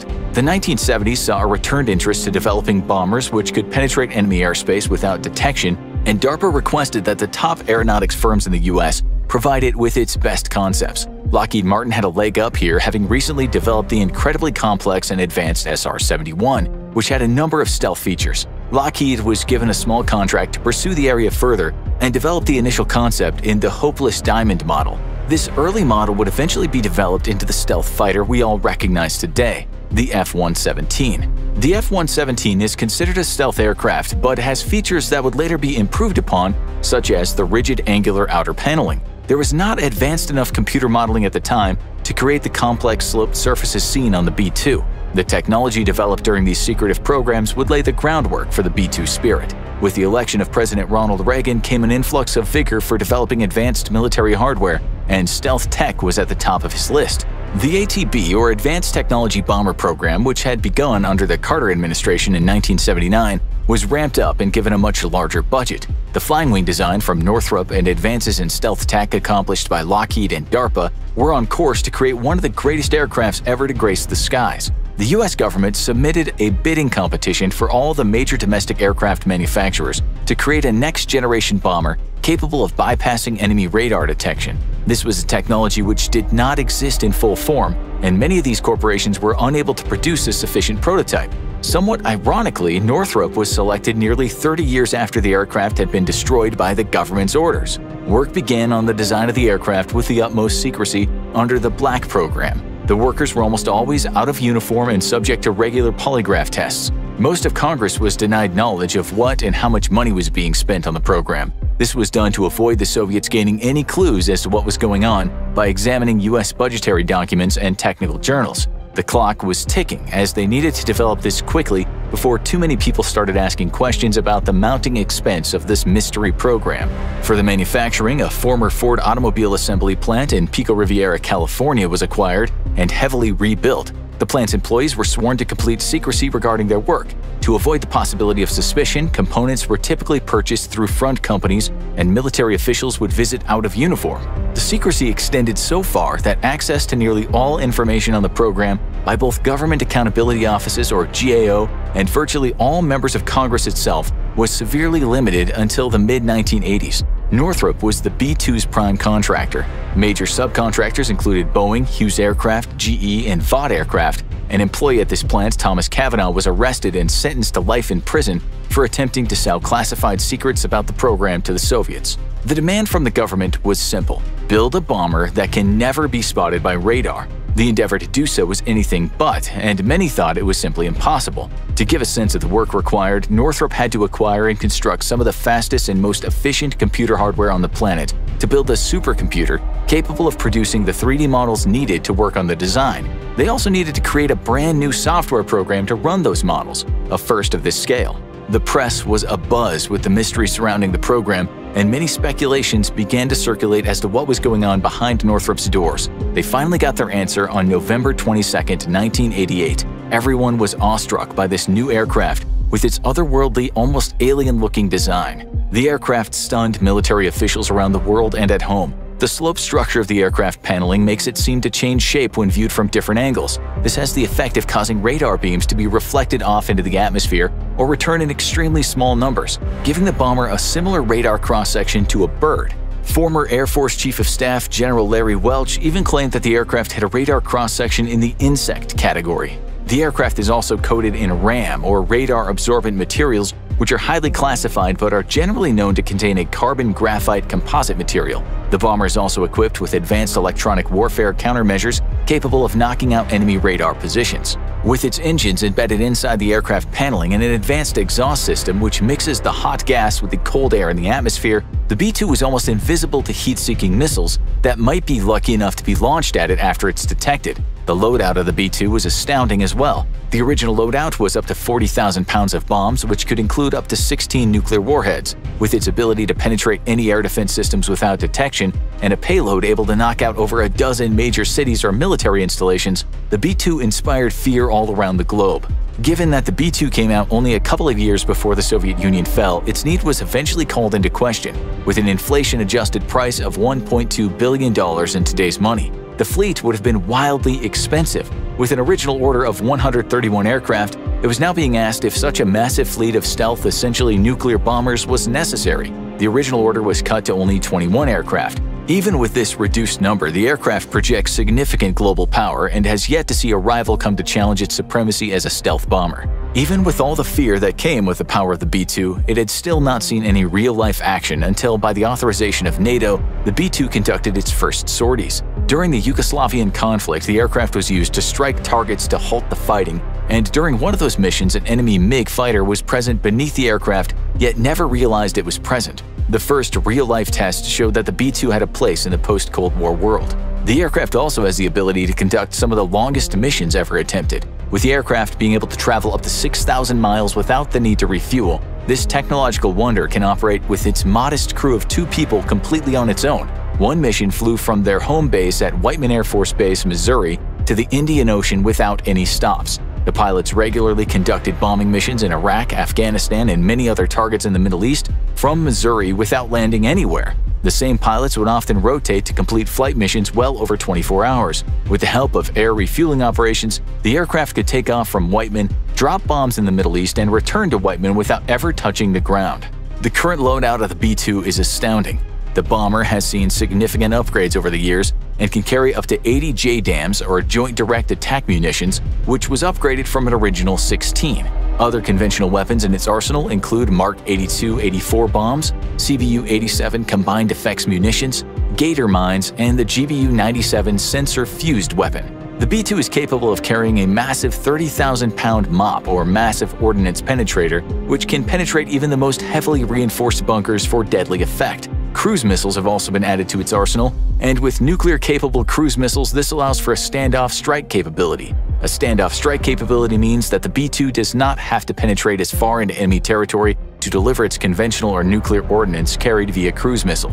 Accompanying this impressive loadout of weaponry is some of the most advanced avionics on the planet. The B-2 was once equipped with hundreds of standalone computers to accomplish various in-flight tasks, such as terrain mapping, flight data, and much more. These have been replaced by a single integrated avionics management computer, which gives pilots a higher degree of usability in flight. Much of these are integrated with advanced 1553B data bus communication lines and fiber optic lines. The aircraft is also EMP hardened, so in the event of a specific EMP attack or upper atmospheric nuclear weapon detonation, the B-2 can operate business as usual even while much of the country would be without power. The B-2 is also equipped with advanced in-flight communication equipment including Link 16 and HF or high-frequency satellite links, so even well on their way to the enemy territory they can receive mission updates without enemy interception.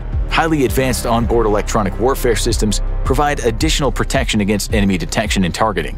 With an ever-advancing payload and sensory array, the B-2 stealth bomber continues to stay one step ahead of the competition. This bomber still has global militaries scrambling to come up with an answer to the capabilities, and with the increase in standoff strike capabilities, the B-2 can continue to operate even if advanced detection methods are developed. The aircraft remains ahead of its time, but advancing global threats are challenging the aging Titan for supremacy. The Department of Defense has commissioned the design and creation of the next step in stealth bomber evolution, the B-21 Raider. With the B-2 still reigning supreme, we can only imagine what its successor will bring to bear against her enemies. With all the advanced technology available worldwide, why do the highly developed US Navy SEALs still rely on a weapon that is 60 years old?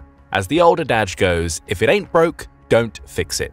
While militaries are generally all about the latest, most effective battlefield technology, some weapons have truly stood the test of time. Among these is the M60 machine gun, which has a well-earned reputation in the annals of modern warfare symbolizing both the technological advancements of the 20th century and the enduring legacy of firepower in military history. This formidable weapon, known colloquially as the Pig due to its rapid rate of fire and appetite for ammunition, has been in service for nearly seven decades. It swiftly became a staple in the United States arsenal, playing a pivotal role in numerous conflicts. In the context of the Navy SEALs, the M60 also holds a special place. Despite the emergence of newer, more technologically advanced weapons, improved variants of the M60 continue to be utilized by the SEALs for specific operations. Its robustness, combined with the high volume of fire it can unleash, makes it an ideal weapon for certain tactical situations, particularly where sustained firepower is crucial. At the same time, it is lighter, better balanced, and easier to control than some other machine guns like the M240, all crucial factors for infantry. The small but continued use of the M60 by even such an elite unit as the SEALs underscores its enduring efficacy and reliability, even in an era dominated by rapid technological advancements in weaponry. Historically, the M60 was best known for its significant impact during the Vietnam War. Its ability to lay down heavy suppressive fire was crucial in numerous engagements, providing cover for troops and hindering enemy movements. The M60's versatility also allowed it to be mounted on vehicles, aircraft, and boats, further extending its utility across different branches of the military. The genesis of this fearsome weapon can be tracked back to the 1950s. A period marked by intense innovation in arms technology during the early days of the Cold War. Seeking to replace older models like the M1918 Browning automatic rifle BAR and the M1919 Browning machine gun, the US military began development of a versatile, reliable, and effective weapon. The development of the M60 was influenced by the notable attributes of its predecessors, particularly the German MG42, renowned for its rapid fire rate, and the FG42, known for its lightness and accuracy. Incorporating these influential designs, the M60 was first introduced in 1957. It was designed as a general-purpose machine gun, embodying the dual role of a light infantry and a mounted weapon. This adaptability was a significant leap in firearm technology, offering the US military an innovative tool for various, more flexible combat scenarios. The M60 brought several technological advancements to the forefront. It was air-cooled, gas-operated, and featured a belt-fed system, allowing for sustained fire, a critical factor in suppressing enemy forces. The machine gun fired the standard NATO 7.62 by 51mm cartridge, which was a step towards ammunition standardization among NATO allies. Despite weighing around 23 pounds, it was relatively light for a machine gun of its era, enhancing its portability. The M60 could fire up to 550 rounds per minute, a rate that provided substantial firepower in the hands of infantry units. Its design allowed for quick barrel replacement, an essential feature in prolonged firefights, where overheating barrels were a concern. The M60's most notable deployment was in Vietnam. When the US entered the conflict, its soldiers were still using a combination of Brownings and M60s. The Browning guns remained either on vehicles or tripods mounted along a base's perimeter, while lighter M60s were used mostly for patrols. But the M60 quickly became a pivotal asset for US forces, providing crucial suppressive fire that could halt or impede enemy advances. Its reliability in the harsh, varied terrain of Vietnam proved invaluable. Soldiers also often modified the M60 for greater efficiency, sometimes removing the bipod or stock for better maneuverability. And in Vietnam, the M60 would eventually come to be used in every conceivable role for a machine gun. Some were mounted on trucks, jeeps, armored personnel carriers, and other vehicles, others on tripods inside fortifications, and yet others on aircraft and boats. But as made famous by Sylvester Stallone's Rambo, the M60 saw its widest use with American infantry forces on the ground. An infantry machine gun section officially consisted of three soldiers the gunner, the assistant gunner, and the ammunition carrier. In practice, all members of a patrol carried extra machine gun ammunition, which was passed up to the gun crew when needed. American infantrymen carried the now famous belts of ammunition draped around their bodies. This was the easiest way to carry the heavy load, and it left the soldiers hands free to use other weapons. The most common complaint about the M60 was that it was still too heavy, particularly when trying to move through the thick jungle on foot. The safety was awkward to operate and worked opposite the M16 rifle, requiring an upward movement of the thumb to free the safety and make the gun ready to fire. Fired cartridges could also become torn and required extra time to remove an empty case, a less than ideal situation in combat. Another issue was that with no gas regulator on the gun, there were sometimes issues with the firing mechanism. Accumulated dirt or dust could slow down the piston and result in the M60 jamming or running away, continuing to fire even when the finger was removed from the trigger. For many soldiers, this was terrifying, especially when the assistant M60 gunner would be forced to hold onto the ammunition belt manually to stop it from feeding. The M60's role in Vietnam was not just tactical, but also symbolic, becoming representative of American presence in Vietnam to both supporters and opponents of the conflict. It also featured in many of the most daring stories from Vietnam, like that of Lance Corporal Richard Pittman. On the morning of July 22, 1966, Pittman was with a company of United States Marines as they moved silently along a jungle trail in Vietnam's Quang Tri province. Suddenly, a battalion of North Vietnamese soldiers ambushed the lead platoon, immediately inflicting massive casualties and pinning down the survivors. As cries for more firepower came out across the radios, Corporal Pittman ditched his rifle, picked up an M60, and rushed forward with no regard for his own safety. Using the weapon, he destroyed two enemy machine gun positions at point-blank range before dodging incoming mortars to reach the front of the patrol. When he found the wounded Marines, a force of 30 to 40 enemy soldiers charged his position. Again facing down death, Pittman positioned the M60 in the center of the trail and opened fire. When he ran out of ammunition, He grabbed one of the wounded Marine's machine guns and continued shooting, and when he ran out of ammo again, he hurled a grenade and started dragging casualties to the rear of the platoon. Pittman would be awarded the Medal of Honor for his actions, just one of many cases where the M60 would prove invaluable. After the Vietnam War, the M60 continued to see action in various conflicts. It was used in the late 20th century's military engagements including the Gulf War and the conflicts in the Balkans. The M60 underwent modifications and upgrades over the years, adapting to new tactical requirements and technological advancements. The US military would eventually produce eight different variants of the M60, aiming to increase its versatility and solve some of the issues which it experienced in Vietnam. The first of these was the M60E1. While the bipod on the original M60 was located under the barrel, the M60E1s was attached to the gas tube, which made barrel changes easier. The next major improvement came in 1986, when the M60E3 was introduced. The M60E3 featured a receiver-mounted bipod, an ambidextrous safety, and a much simplified gas system. It also had universal sling attachments and a carrying handle to help gunners deal with the weight. The new design also shaved 5 pounds off the original M60 design, but the lighter frame and skinnier barrel were still prone to breaking and overheating. By the turn of the century, the M60 series of machine guns was being replaced by the heavier, albeit more reliable, M240, as well as the lighter 5.56 firing M249. And while most Army and Marine Corps units transitioned to the newer weapons, the Navy SEALs embraced the M60's final iteration, the M60E4. Sometimes known as the Mark 43, this variant proved to be the most reliable M60 model. It came with three barrel options, a long barrel, a short barrel, and an even shorter assault barrel. The assault barrel brought the overall weight of the weapon down to 21 pounds, making it one of the most manageable medium machine guns ever built and all three barrel options are lined with stellite, which improved the weapon's heat resistance and overall longevity. The M60E3 also added rails for attaching optics and lasers, as well as an adjustable front sight, reducing the tendency for gunners to spray and pray. The other variants of the gun were produced specifically to be vehicle-mounted.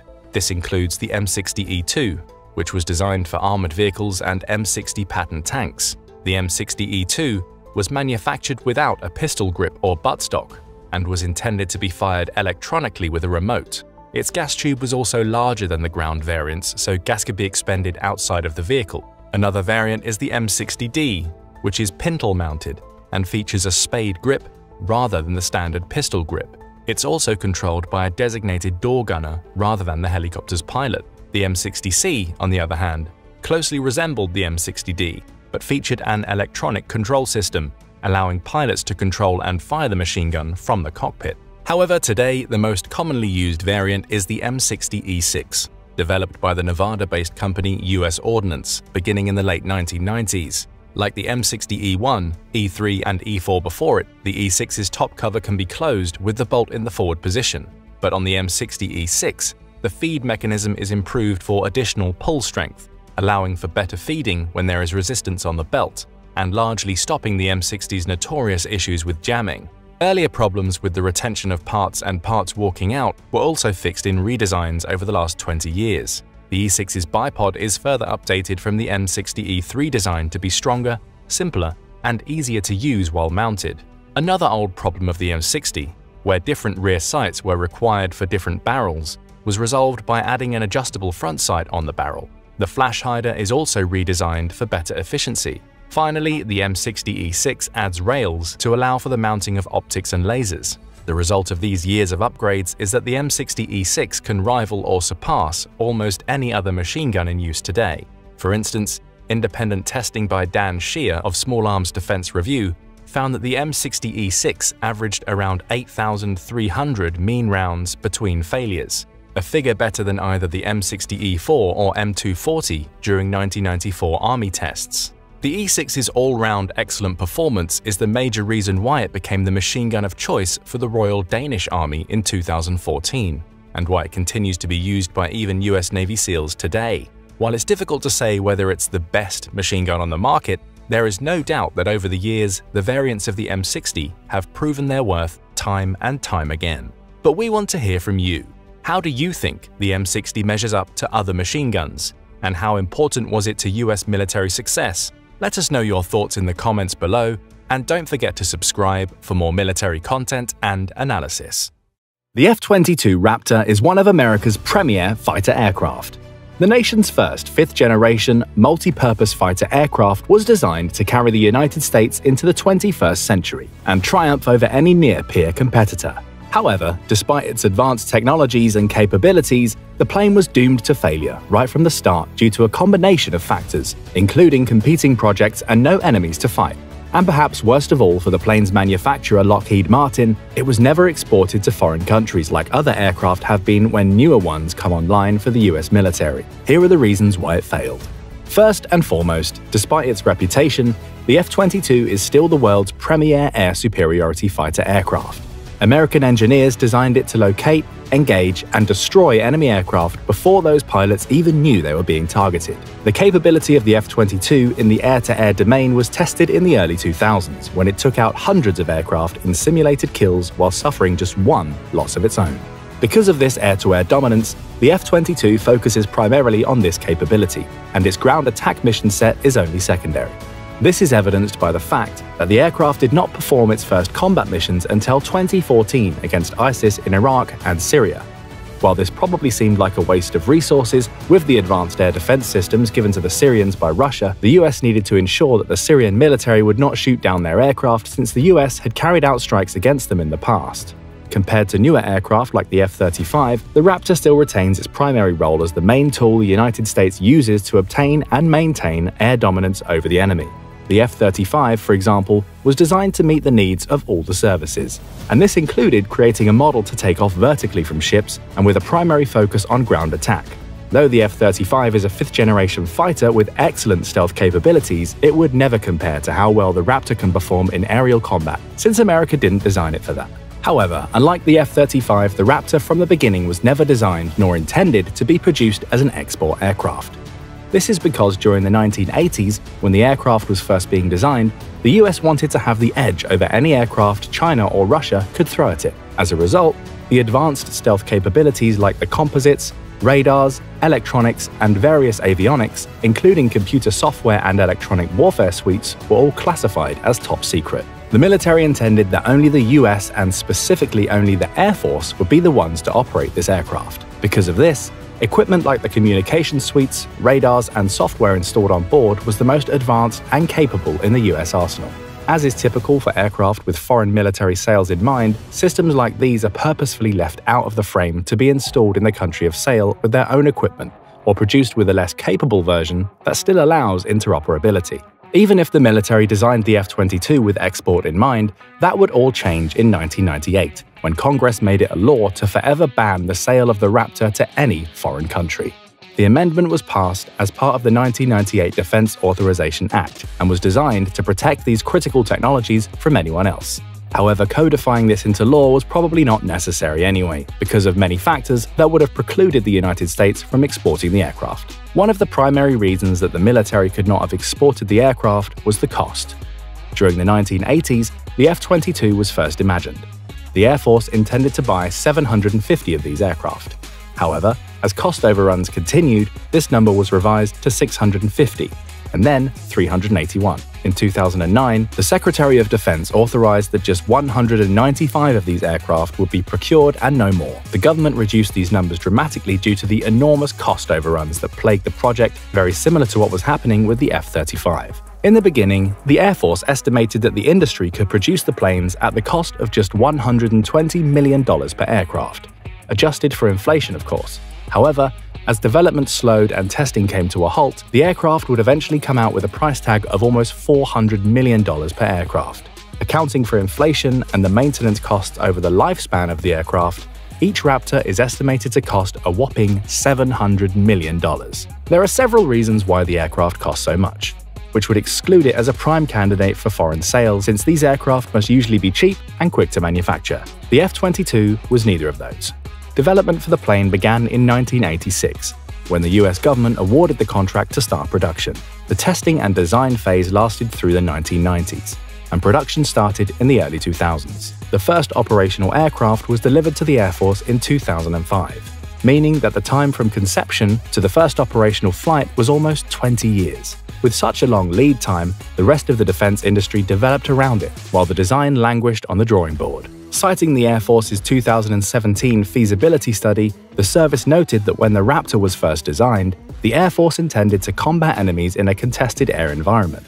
A contested air environment would mean the aircraft would encounter things such as enemy fighters and air defense missile batteries. However, as the report has noted, the world has dramatically changed since the Raptor first came out. The Air Force now assesses that by the time it would take to retool the manufacturing base for a potential export model, the Raptor would be facing highly contested airspaces. This means that the future operating environment the Raptor would face had the Air Force and Congress decided to start production in 2017 would be too fraught with danger to maintain the edge it had before. With the proliferation of advanced air defense radars and missiles across the world, as well as new fighter aircraft designed to go toe to toe with the F 22, as well as an increase in the cyber warfare domain, the threats to the F 22 would become so much as to question its feasibility on the battlefield. As a result, the Air Force warned that restarting production for an aircraft for sale might mean that they will be obsolete when these aircraft are delivered anyway. However, simply telling the aviation industry that Congress had the money and a buyer for new Raptors to be exported was not feasible.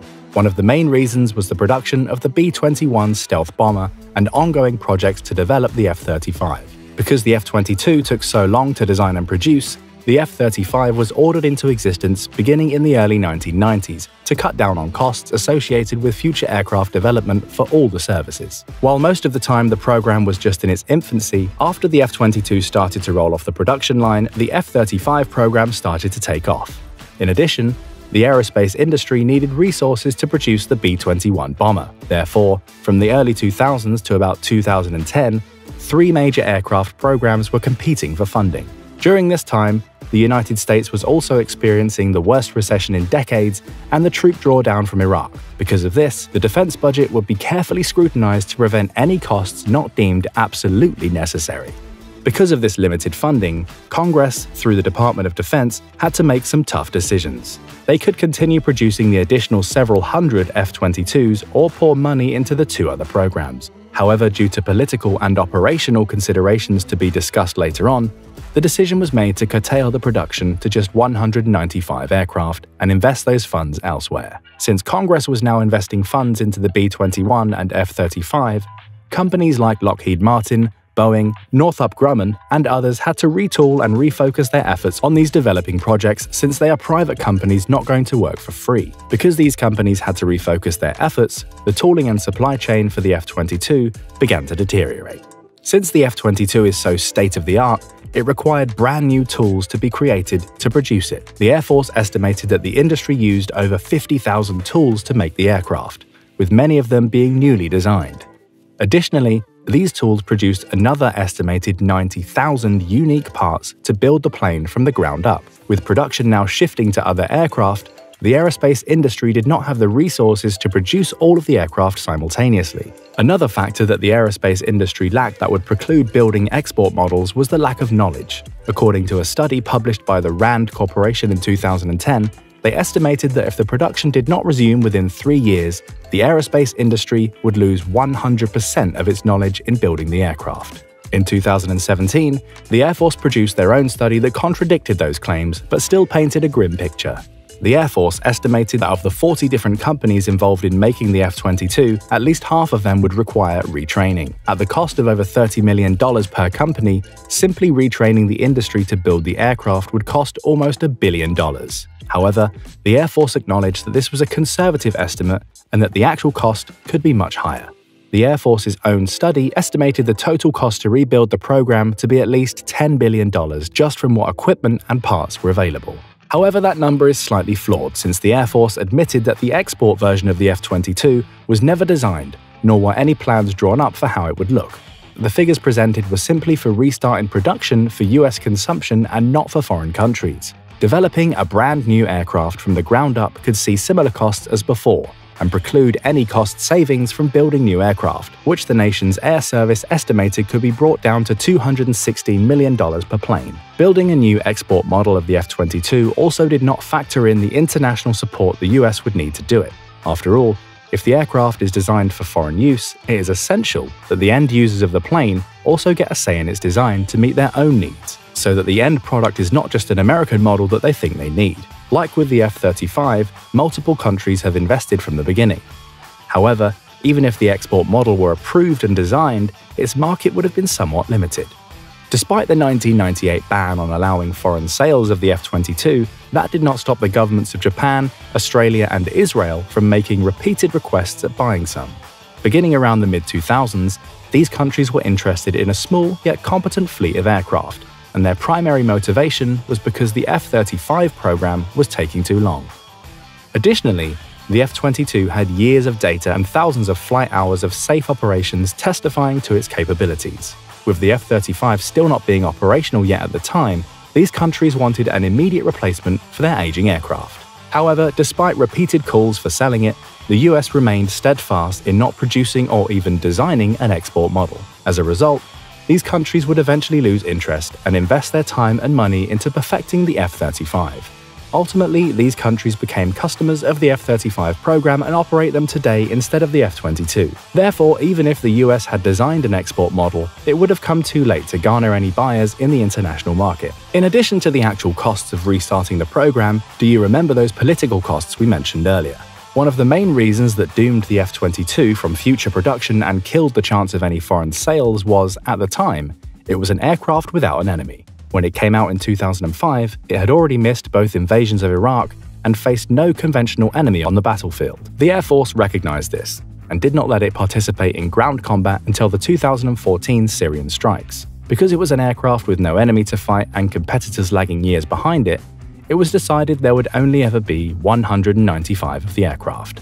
The political decision to cancel the aircraft, despite the Air Force stating that it still needed more, came down to the Secretary of Defense. At the time, the SecDef said that the US had only one near peer competitor now China, and that Russia was still years behind in developing an aircraft that could come close to touching it. If that were not enough, more Raptors did not have the support of the president either, who stated that he would veto the 2010 defense budget if it included funding for any more Raptors. Therefore, due to high costs, no intention to involve foreign partners, no mission at the time, and political wrangling, the F 22 would be forever destined to serve in a US military capacity only.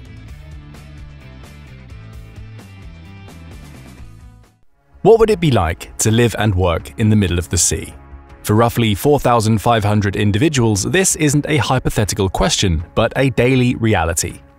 These individuals are sailors who live and work aboard the USS Gerald R. Ford, CVN 78, a nuclear-powered 100,000-ton giant of a ship. The Ford, as sailors refer to it, eclipses all other active naval vessels globally, setting new standards in size and power. As of 2024, this extraordinary display of engineering and naval might is considered the world's largest aircraft carrier and the largest warship ever constructed. Given its sheer size, it shouldn't be surprising that this carrier is often called a city at sea. But what is life like for citizens of this marvelous place? In the words of one of these residents, a petty officer first class in the US Navy, there isn't anything like living on an aircraft carrier. To understand what makes life on the Ford unique, let's board this miniature floating city on its epic odyssey. Welcome aboard. As much as we'd like to explore the insides of this colossal vessel immediately, we'd be doing it a disservice if we didn't first acknowledge its impressive exterior. The Ford is roughly 1,100 feet long and 256 feet wide. This means that the ship's deck spans the size of approximately four football fields, which are 300 feet long and 160 feet wide. As for the height, the Ford stands at 250 feet. To understand just how tall this is, you only need to know that the Statue of Liberty is about 305 feet, from the heel to the tip of the torch. But just because the Ford is absolutely massive, it doesn't mean it travels slowly. This remarkable ship can sustain a speed of over 35 miles per hour, 30 knots. This impressive speed places it among the world's fastest aircraft carriers, allowing it to travel across the ocean in a matter of weeks and even outrun most submarines. Now you might be thinking, this might not have come cheap, and you'd be absolutely right. The USS Gerald R. Ford construction cost roughly $12.8 billion in materials and labor, and that's not to mention the 4.7 billion spent on research and development. Thanks to these figures, the Ford can add another superlative to its long list of accomplishments, the world's most expensive aircraft carrier. And if the Navy is to be believed, it's also the most adaptable and lethal combat platform in the world. Of course, a ship of this magnitude wasn't constructed overnight. Construction began on August 11, 2005, and 12 years would pass before the USS Gerald R. Ford was formally commissioned. Former President Donald Trump had the honor of placing this ship in active service on July 22, 2017.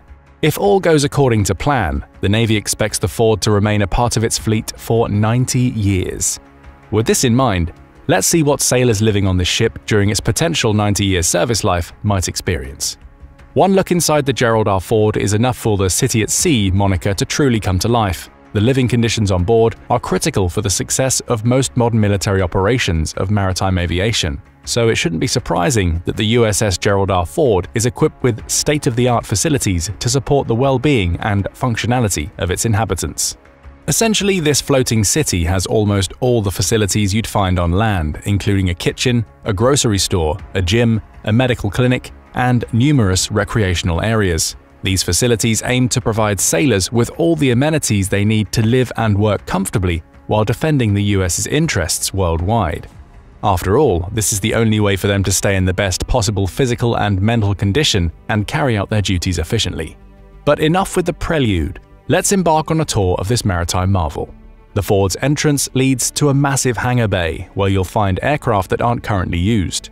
At the hangar bay, you'll also find a statue of the ship's namesake, former President Gerald R. Ford. Beyond the obvious symbolism, President Ford's statue might have something to do with luck. You see, President Ford served on an aircraft carrier, the USS Monterey CVL-26, from June 1943 to December 1944. As an assistant navigation officer, athletic officer he played football at the University of Michigan and an anti-aircraft battery officer Ford was credited by his shipmates for saving the USS Monterey during a particularly nasty storm.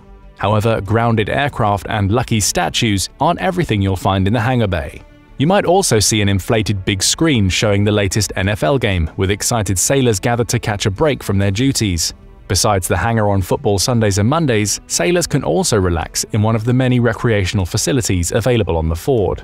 Well-equipped gyms, fitness rooms, sports fields, and expansive relaxation areas are just some of these facilities dedicated to promoting the crew's physical and emotional well-being. Sailors can use these facilities to work on their fitness, but also to unwind, momentarily escape the work stress, and connect with fellow crew members. Connecting with other sailors is especially important since life at sea, away from your loved ones, can be rather isolating.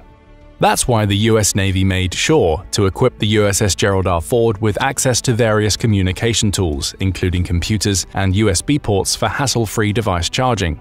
This allows sailors to email, video chat, or connect with their loved ones via social media, helping alleviate some of the feelings of loneliness. However, there are facilities where sailors certainly won't feel lonely, or at least alone, the ship's sleeping areas.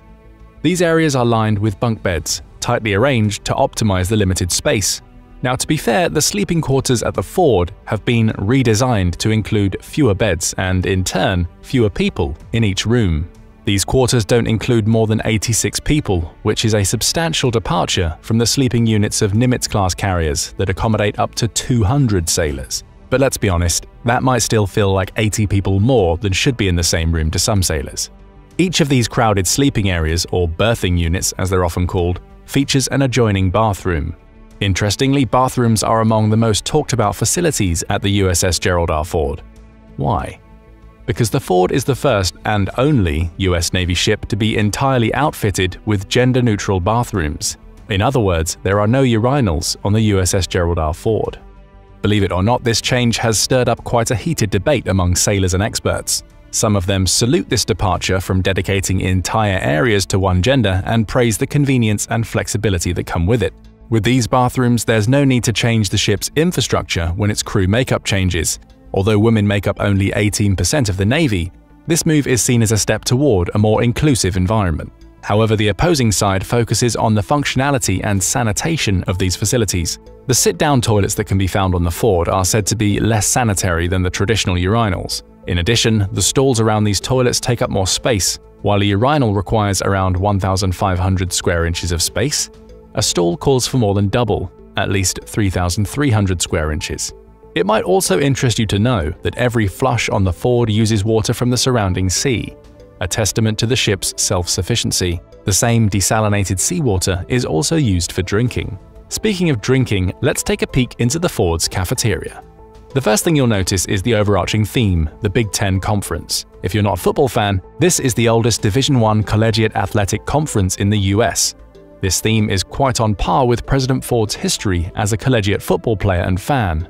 After having a cup of coffee or a drink of their choice, sailors can go to one of the mess halls to enjoy breakfast according to a set schedule, typically starting at 6 a.m. Of course, the same strict schedule applies to lunch and dinner. But to understand how thousands of sailors can be fed nutritious meals daily, we must visit arguably the most impressive facility on the Ford the kitchen.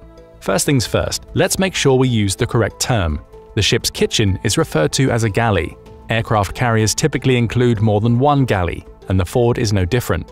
The ship has two operational galleys, where all the cooking is done, but just how much cooking are we talking about? Let's say there are 4,500 crew members on the Ford at a time. This means that 13,500 meals must be prepared daily. That is, if we're only counting breakfast, lunch, and dinner, but what about midnight rations, or midrats for short?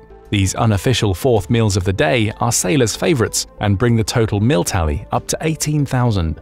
This figure is noteworthy in and of itself when you consider only about 100 sailors participate in making these meals. Talk about a culinary miracle. Of course, there's no magic in the galleys, only precision, efficiency, and a well-orchestrated culinary operation. This operation is orchestrated by culinary specialists who run the galleys.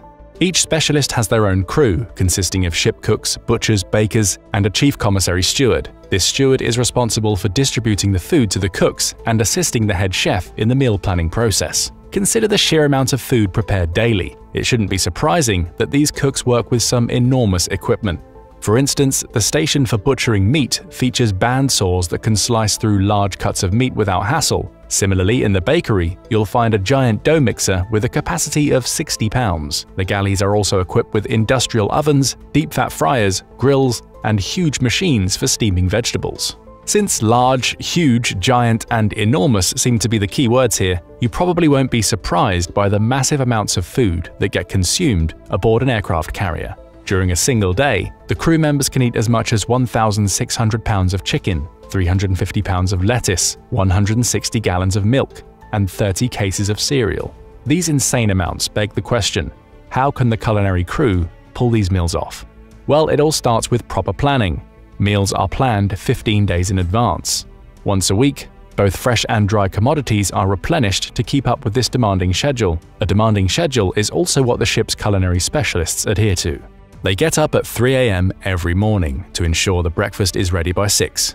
However, the hard labor doesn't stop after 6, as every minute in the galley must be productive to keep up with the demand for the remaining daily meals. Plus, cooks make it a point to prepare each meal to a high standard, ensuring the sailors can enjoy delicious food even when they're thousands of miles away from home. To keep the morale high, cooks will also introduce some variety and creativity into the meal schedule, that's why it isn't uncommon for this schedule to feature a Taco Tuesday, or meals using regional delicacies like Greek feta cheese and Mongolian barbecue. Although every day aboard the Ford is a feast, sailors will get an extra special treat on their birthday. To celebrate this day, sailors are typically given a lunch featuring a lobster or prime rib main course. These courses are served on a tablecloth and paired with wine and pleasant background music for a memorable dining experience. But why is so much attention paid to the food on the Ford beyond the obvious health-related reasons? Well, food has historically been one of the most critical aspects of service in the US Navy. Early on, a good meal was even one of the most important factors in recruitment. At the time, food wasn't as nearly diverse as it is today, so sailors wanted a guarantee they would be well fed aboard the ship. After all, sailors in charge of the more labor-intensive tasks can burn over 4,000 calories a day, so nutritious and satisfying meals are crucial for their energy and well-being. To further emphasize the importance of sailors' well-being, the Ford also features comprehensive healthcare and welfare facilities. The Central Medical Facility is often referred to as the sick bay, and it serves as a hub for medical care on the USS Gerald R. Ford. Here, sailors can seek medical help, whether preventative or emergency care, routine checkups, or medication management. They'll receive that help from qualified medical personnel, including doctors, nurses, and medical technicians, available 24 hours a day, 7 days a week. Since their mental health is as important as physical, sailors also have access to counselors and spiritual care providers aboard the Ford. These individuals try to help sailors overcome any psychological or emotional challenges they might encounter during deployment. Their professional and, more importantly, confidential services range from one-on-one -on -one conversations to group sessions helping sailors cope with stress, the emotional and physical strain of life at sea, and separation from their loved ones. The goal of these services and facilities, like all the others mentioned so far in this video, is to make sailors feel as supported as possible. There's another facility aboard the Ford that can also contribute to keeping the crew grounded, a grocery store. This store allows sailors to access essential supplies and comforts, creating a sense of normalcy during deployment. Here they can purchase basic supplies like razors and other hygiene products. They can also find highly specialized items like coffee blends, tobacco products, and protein shakes. As far as food goes, sailors can buy everything from potatoes to tasty candy. And let us tell you, they definitely take advantage of these diverse shopping options. The grocery store on the Ford averages around $10,000 in sales per day, with over 1,000 individual transactions. All the proceeds from the store are invested back into the ship, or its welfare and recreation activities, to be precise. But how can this store in the middle of an ocean remain stocked with such a high number of daily transactions? The answer is simple replenishment at sea. Replenishment at sea is the US Navy's logistics operation aimed at resupplying ships with a range of necessities, thus allowing them to remain at sea indefinitely. These necessities include grocery items, fuel, ammunition, and food for the galleys. A single replenishment can provide an aircraft carrier with between 400,000 and 1 million pounds of food. So how does this replenishment at sea work? Well, there are two ways in which this operation can be carried out vertical replenishment and alongside connected replenishment. The former is done while the ship is in motion and includes the use of a cargo helicopter. Vertical replenishment is significantly faster and safer than its alternative but offers less capacity. Since a helicopter is involved in this process, there's only so much cargo that can be transferred at once. No such limitations exist in the alongside connected replenishment method. After all, this method involves a separate ship filled with supplies. Here's what this replenishment process looks like. The supply ship maintains a constant speed, ranging from 12 to 16 knots. This vessel is then approached by the receiving ship until they're roughly 30 yards apart. When an ideal distance is achieved, a shot line will be fired from the supply ship and used to pull all the necessary supplies across. Afterward, supplies are transferred to the hangar bay to be sorted and distributed to their respective units. Thanks to this process, sailors at the Ford can have virtually anything they want at any time. As you've probably noticed, all the facilities mentioned so far primarily deal with leisure and sailors' time off. But what about their working environment? After all, working is as much part of life at sea as relaxing, sleeping, and eating, if not more. Though there are numerous professional areas aboard the USS Gerald R. Ford, none is more important than the flight deck. This 256-foot wide, 1,092-foot long deck serves as the epicenter of the ship's air operations, so let's head up there. At first glance, the flight deck might seem like a chaotic scene with a lot of noise, workers moving in all directions, and aircraft being prepared for takeoff and landing, but this couldn't be further from the truth. There's nothing chaotic about the Ford's flight deck. Instead, every single move is meticulously planned and executed with precision.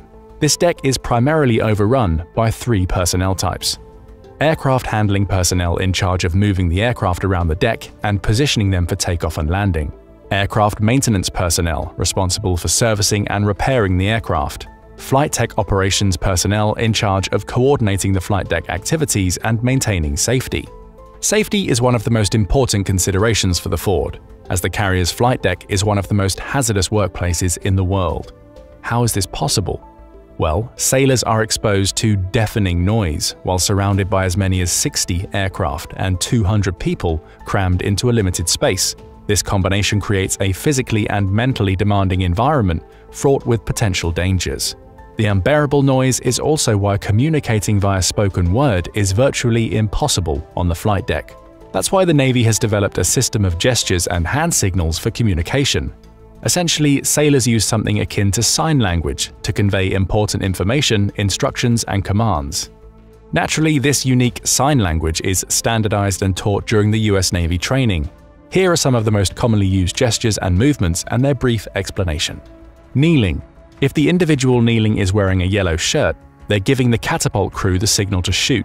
Individuals wearing green shirts and kneeling are members of the catapult crew, indicating that they're waiting for the next aircraft's catapult to come up.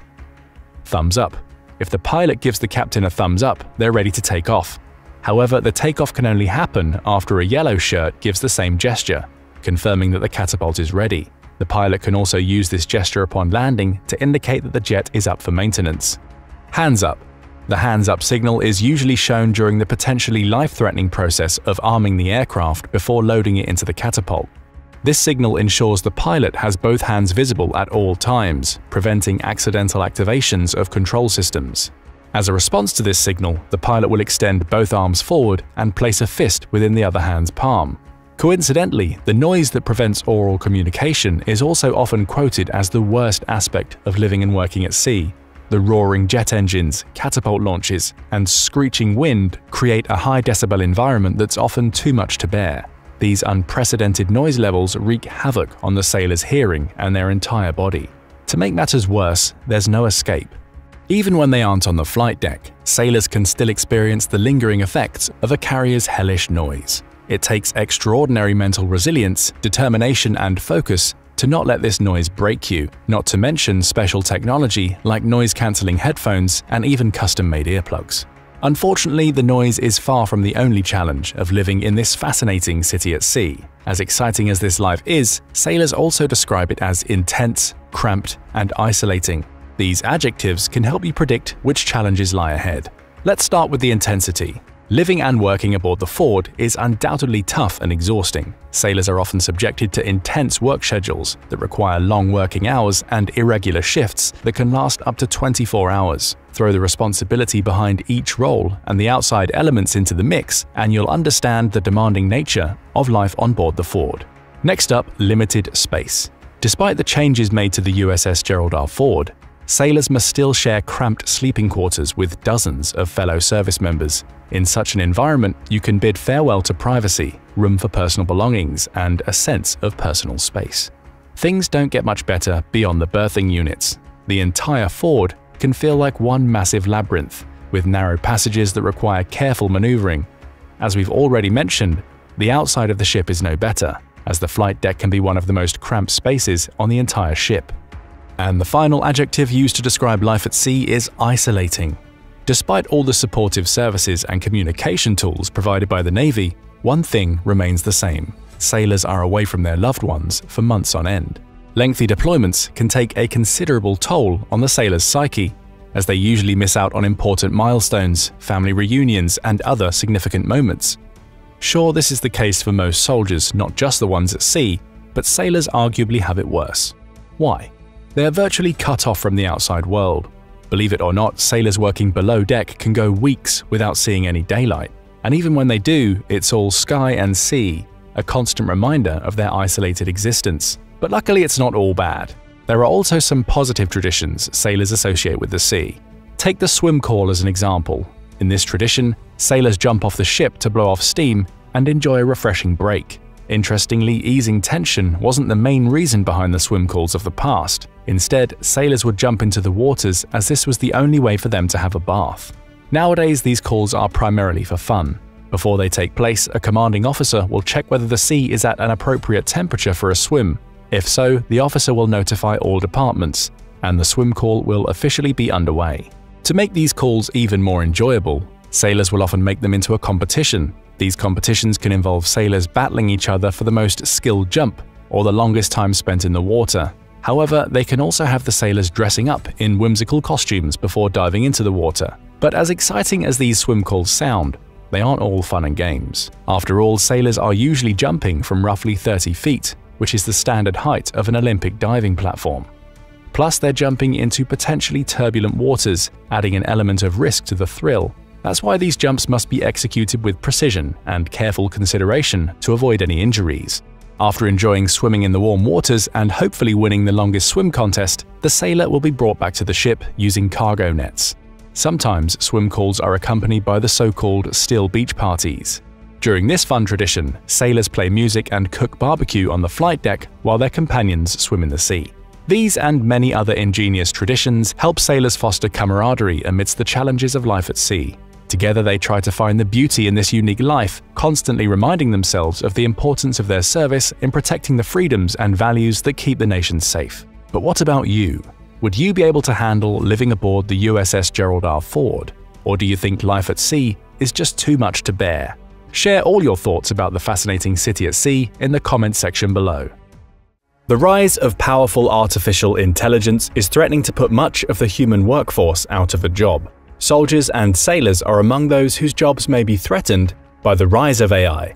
Meet the Sea Hunter, the world's biggest drone ship to date, and one whose coming arrival signals that the AI revolution extends far beyond cyberspace or the skies. Drones have been an increasingly important part of warfare for the past decade or more, it is easy to see why politicians and the military brass would have a fondness for them.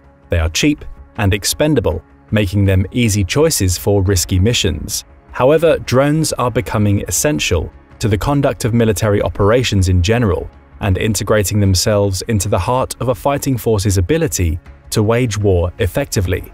The fighting between Armenia and Azerbaijan in 2020 was perhaps the clearest demonstration that drones had arrived, as one of the most important items on the battlefield. In that conflict, the Azerbaijanis used drones to devastating effect against the Armenian army, which had always been blessed with superior soldiers and officers until then.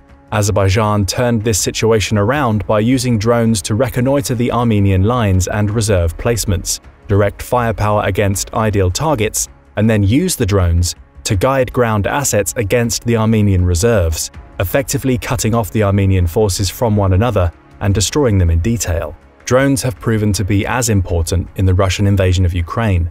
Both sides have used them in important operations, with Russians using Iranian drones on Ukrainian civilian infrastructure. Meanwhile, the Ukrainians have used anti-personnel and anti-armor drones against Russian supply lines, among other targets. The wide-scale, multi-purpose use of drones in the war between Russia and Ukraine reveals how central they are becoming in warfare. Up to now, unmanned assets have largely been associated with air power, targeted killings, and surveillance for fighting on the ground.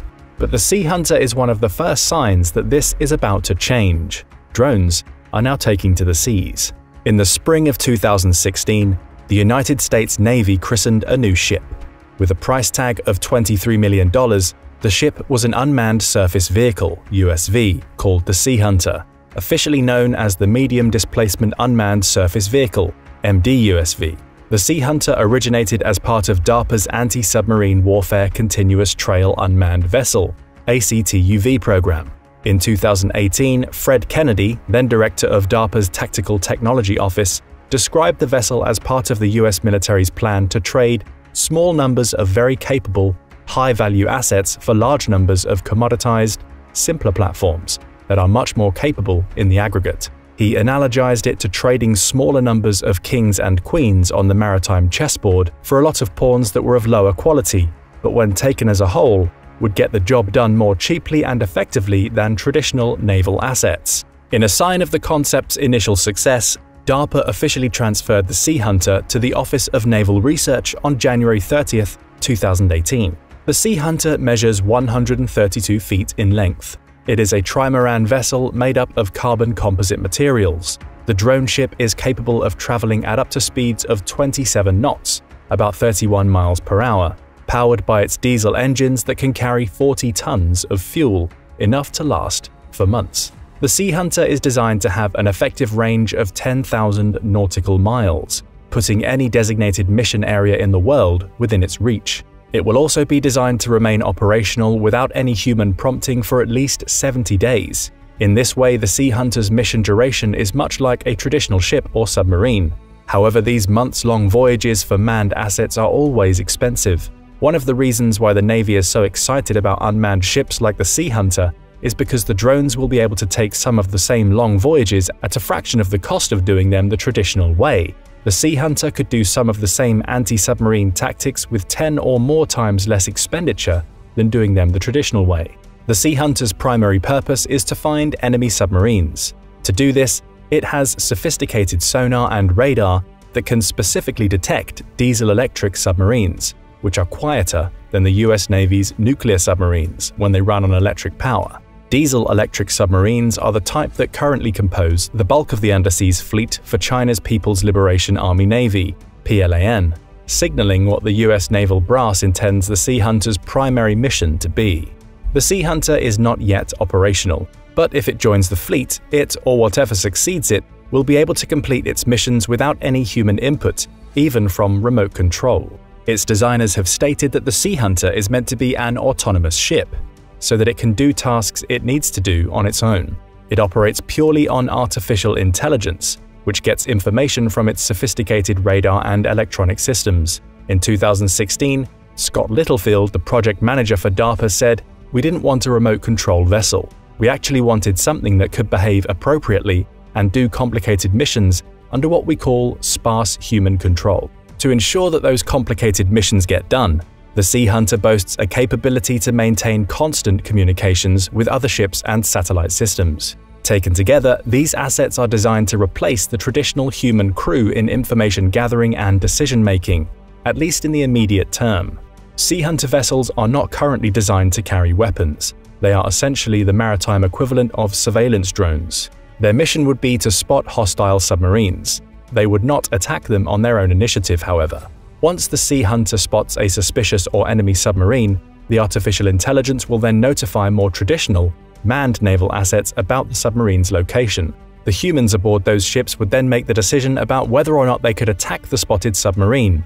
This mission will require constant communication between the Sea Hunter and traditional assets via satellite. After identifying a target, the Sea Hunter will move on to other potential targets and predict what they will do next.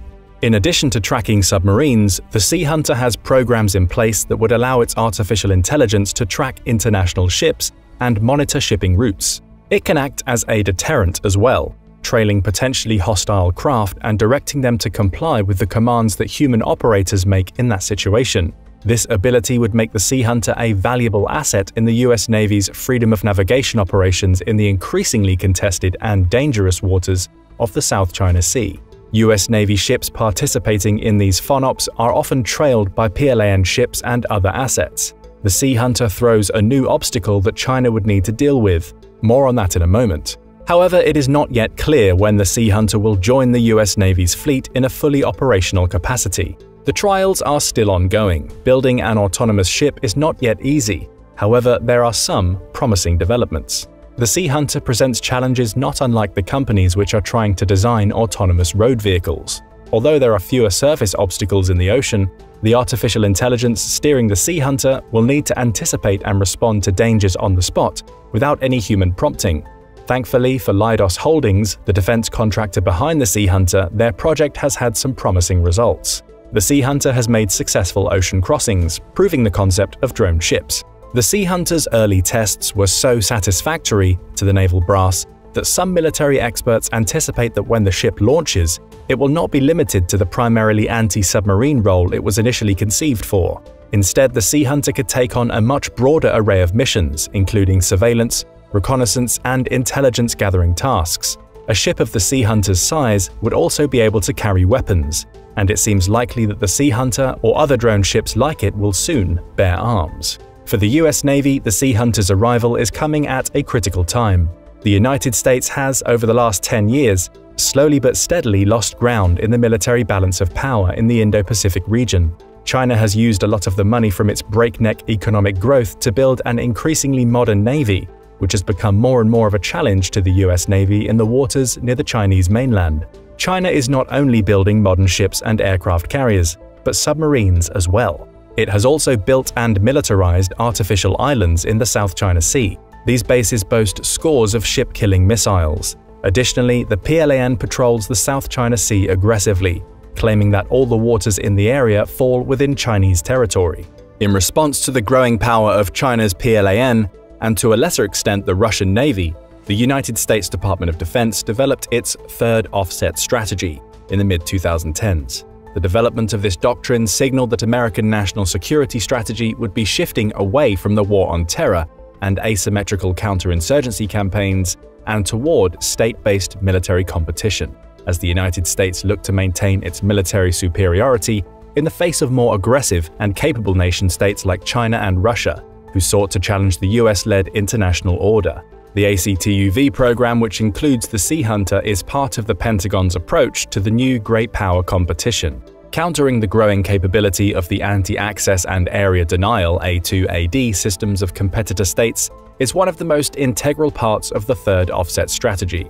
This idea primarily refers to China's huge arsenal of ballistic missiles, which pose terrible danger to American bases and traditional naval assets, like carrier groups in the Indo-Pacific region. A 2019 report from the US Army's Center for Lessons Learned revealed part of the strategy to counter enemy A2AD assets. To offset an adversary's A2AD, the US military must live and operate within the A2AD region. The National Defense Strategy NDS represents a re-emphasis on forward presence, but a forward presence of a particular kind. It is not about presence for its own sake or for symbolic or reassurance purposes. Rather, it is about combat credible forward forces, that is, forces that are or can rapidly get forward, survive a withering Chinese or Russian assault, and blunt the adversary's aggression. Both represent geographical challenges equal to none that the US military has encountered.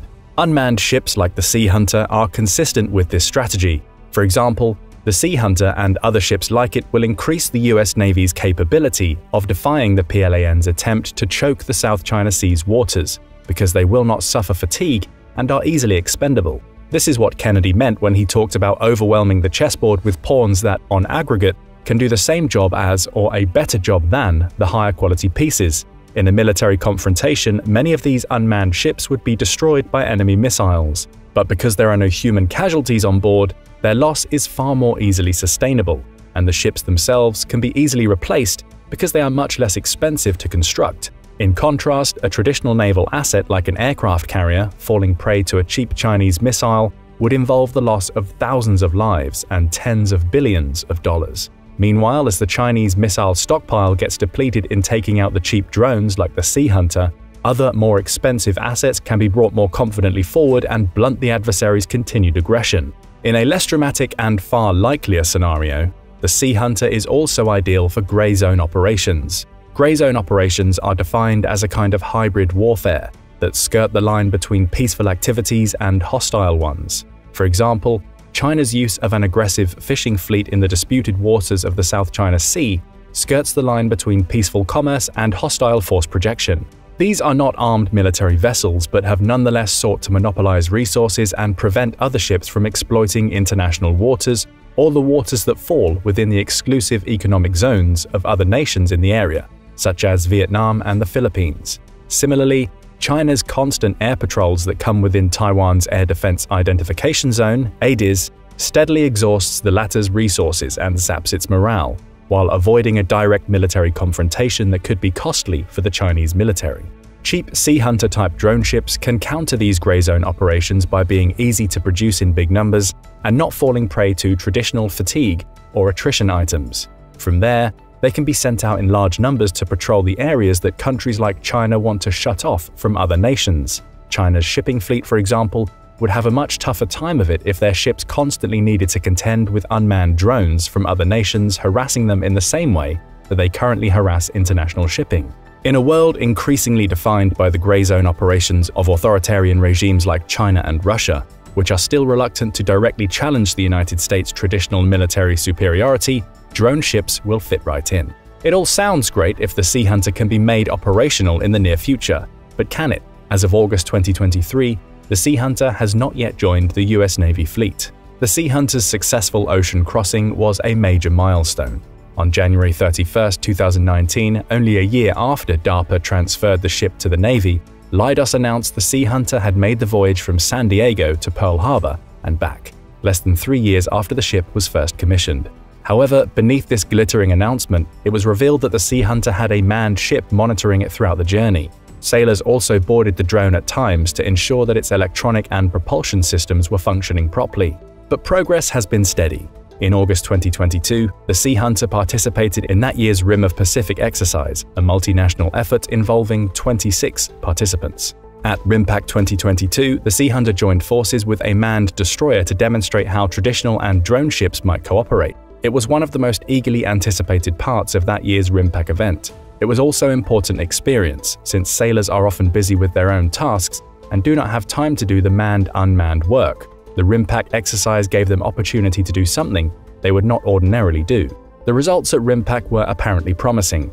with the Seahawk and Destroyer team satisfactorily integrating their anti-submarine capabilities together, doing all of the tasks the exercise's planners wanted to do.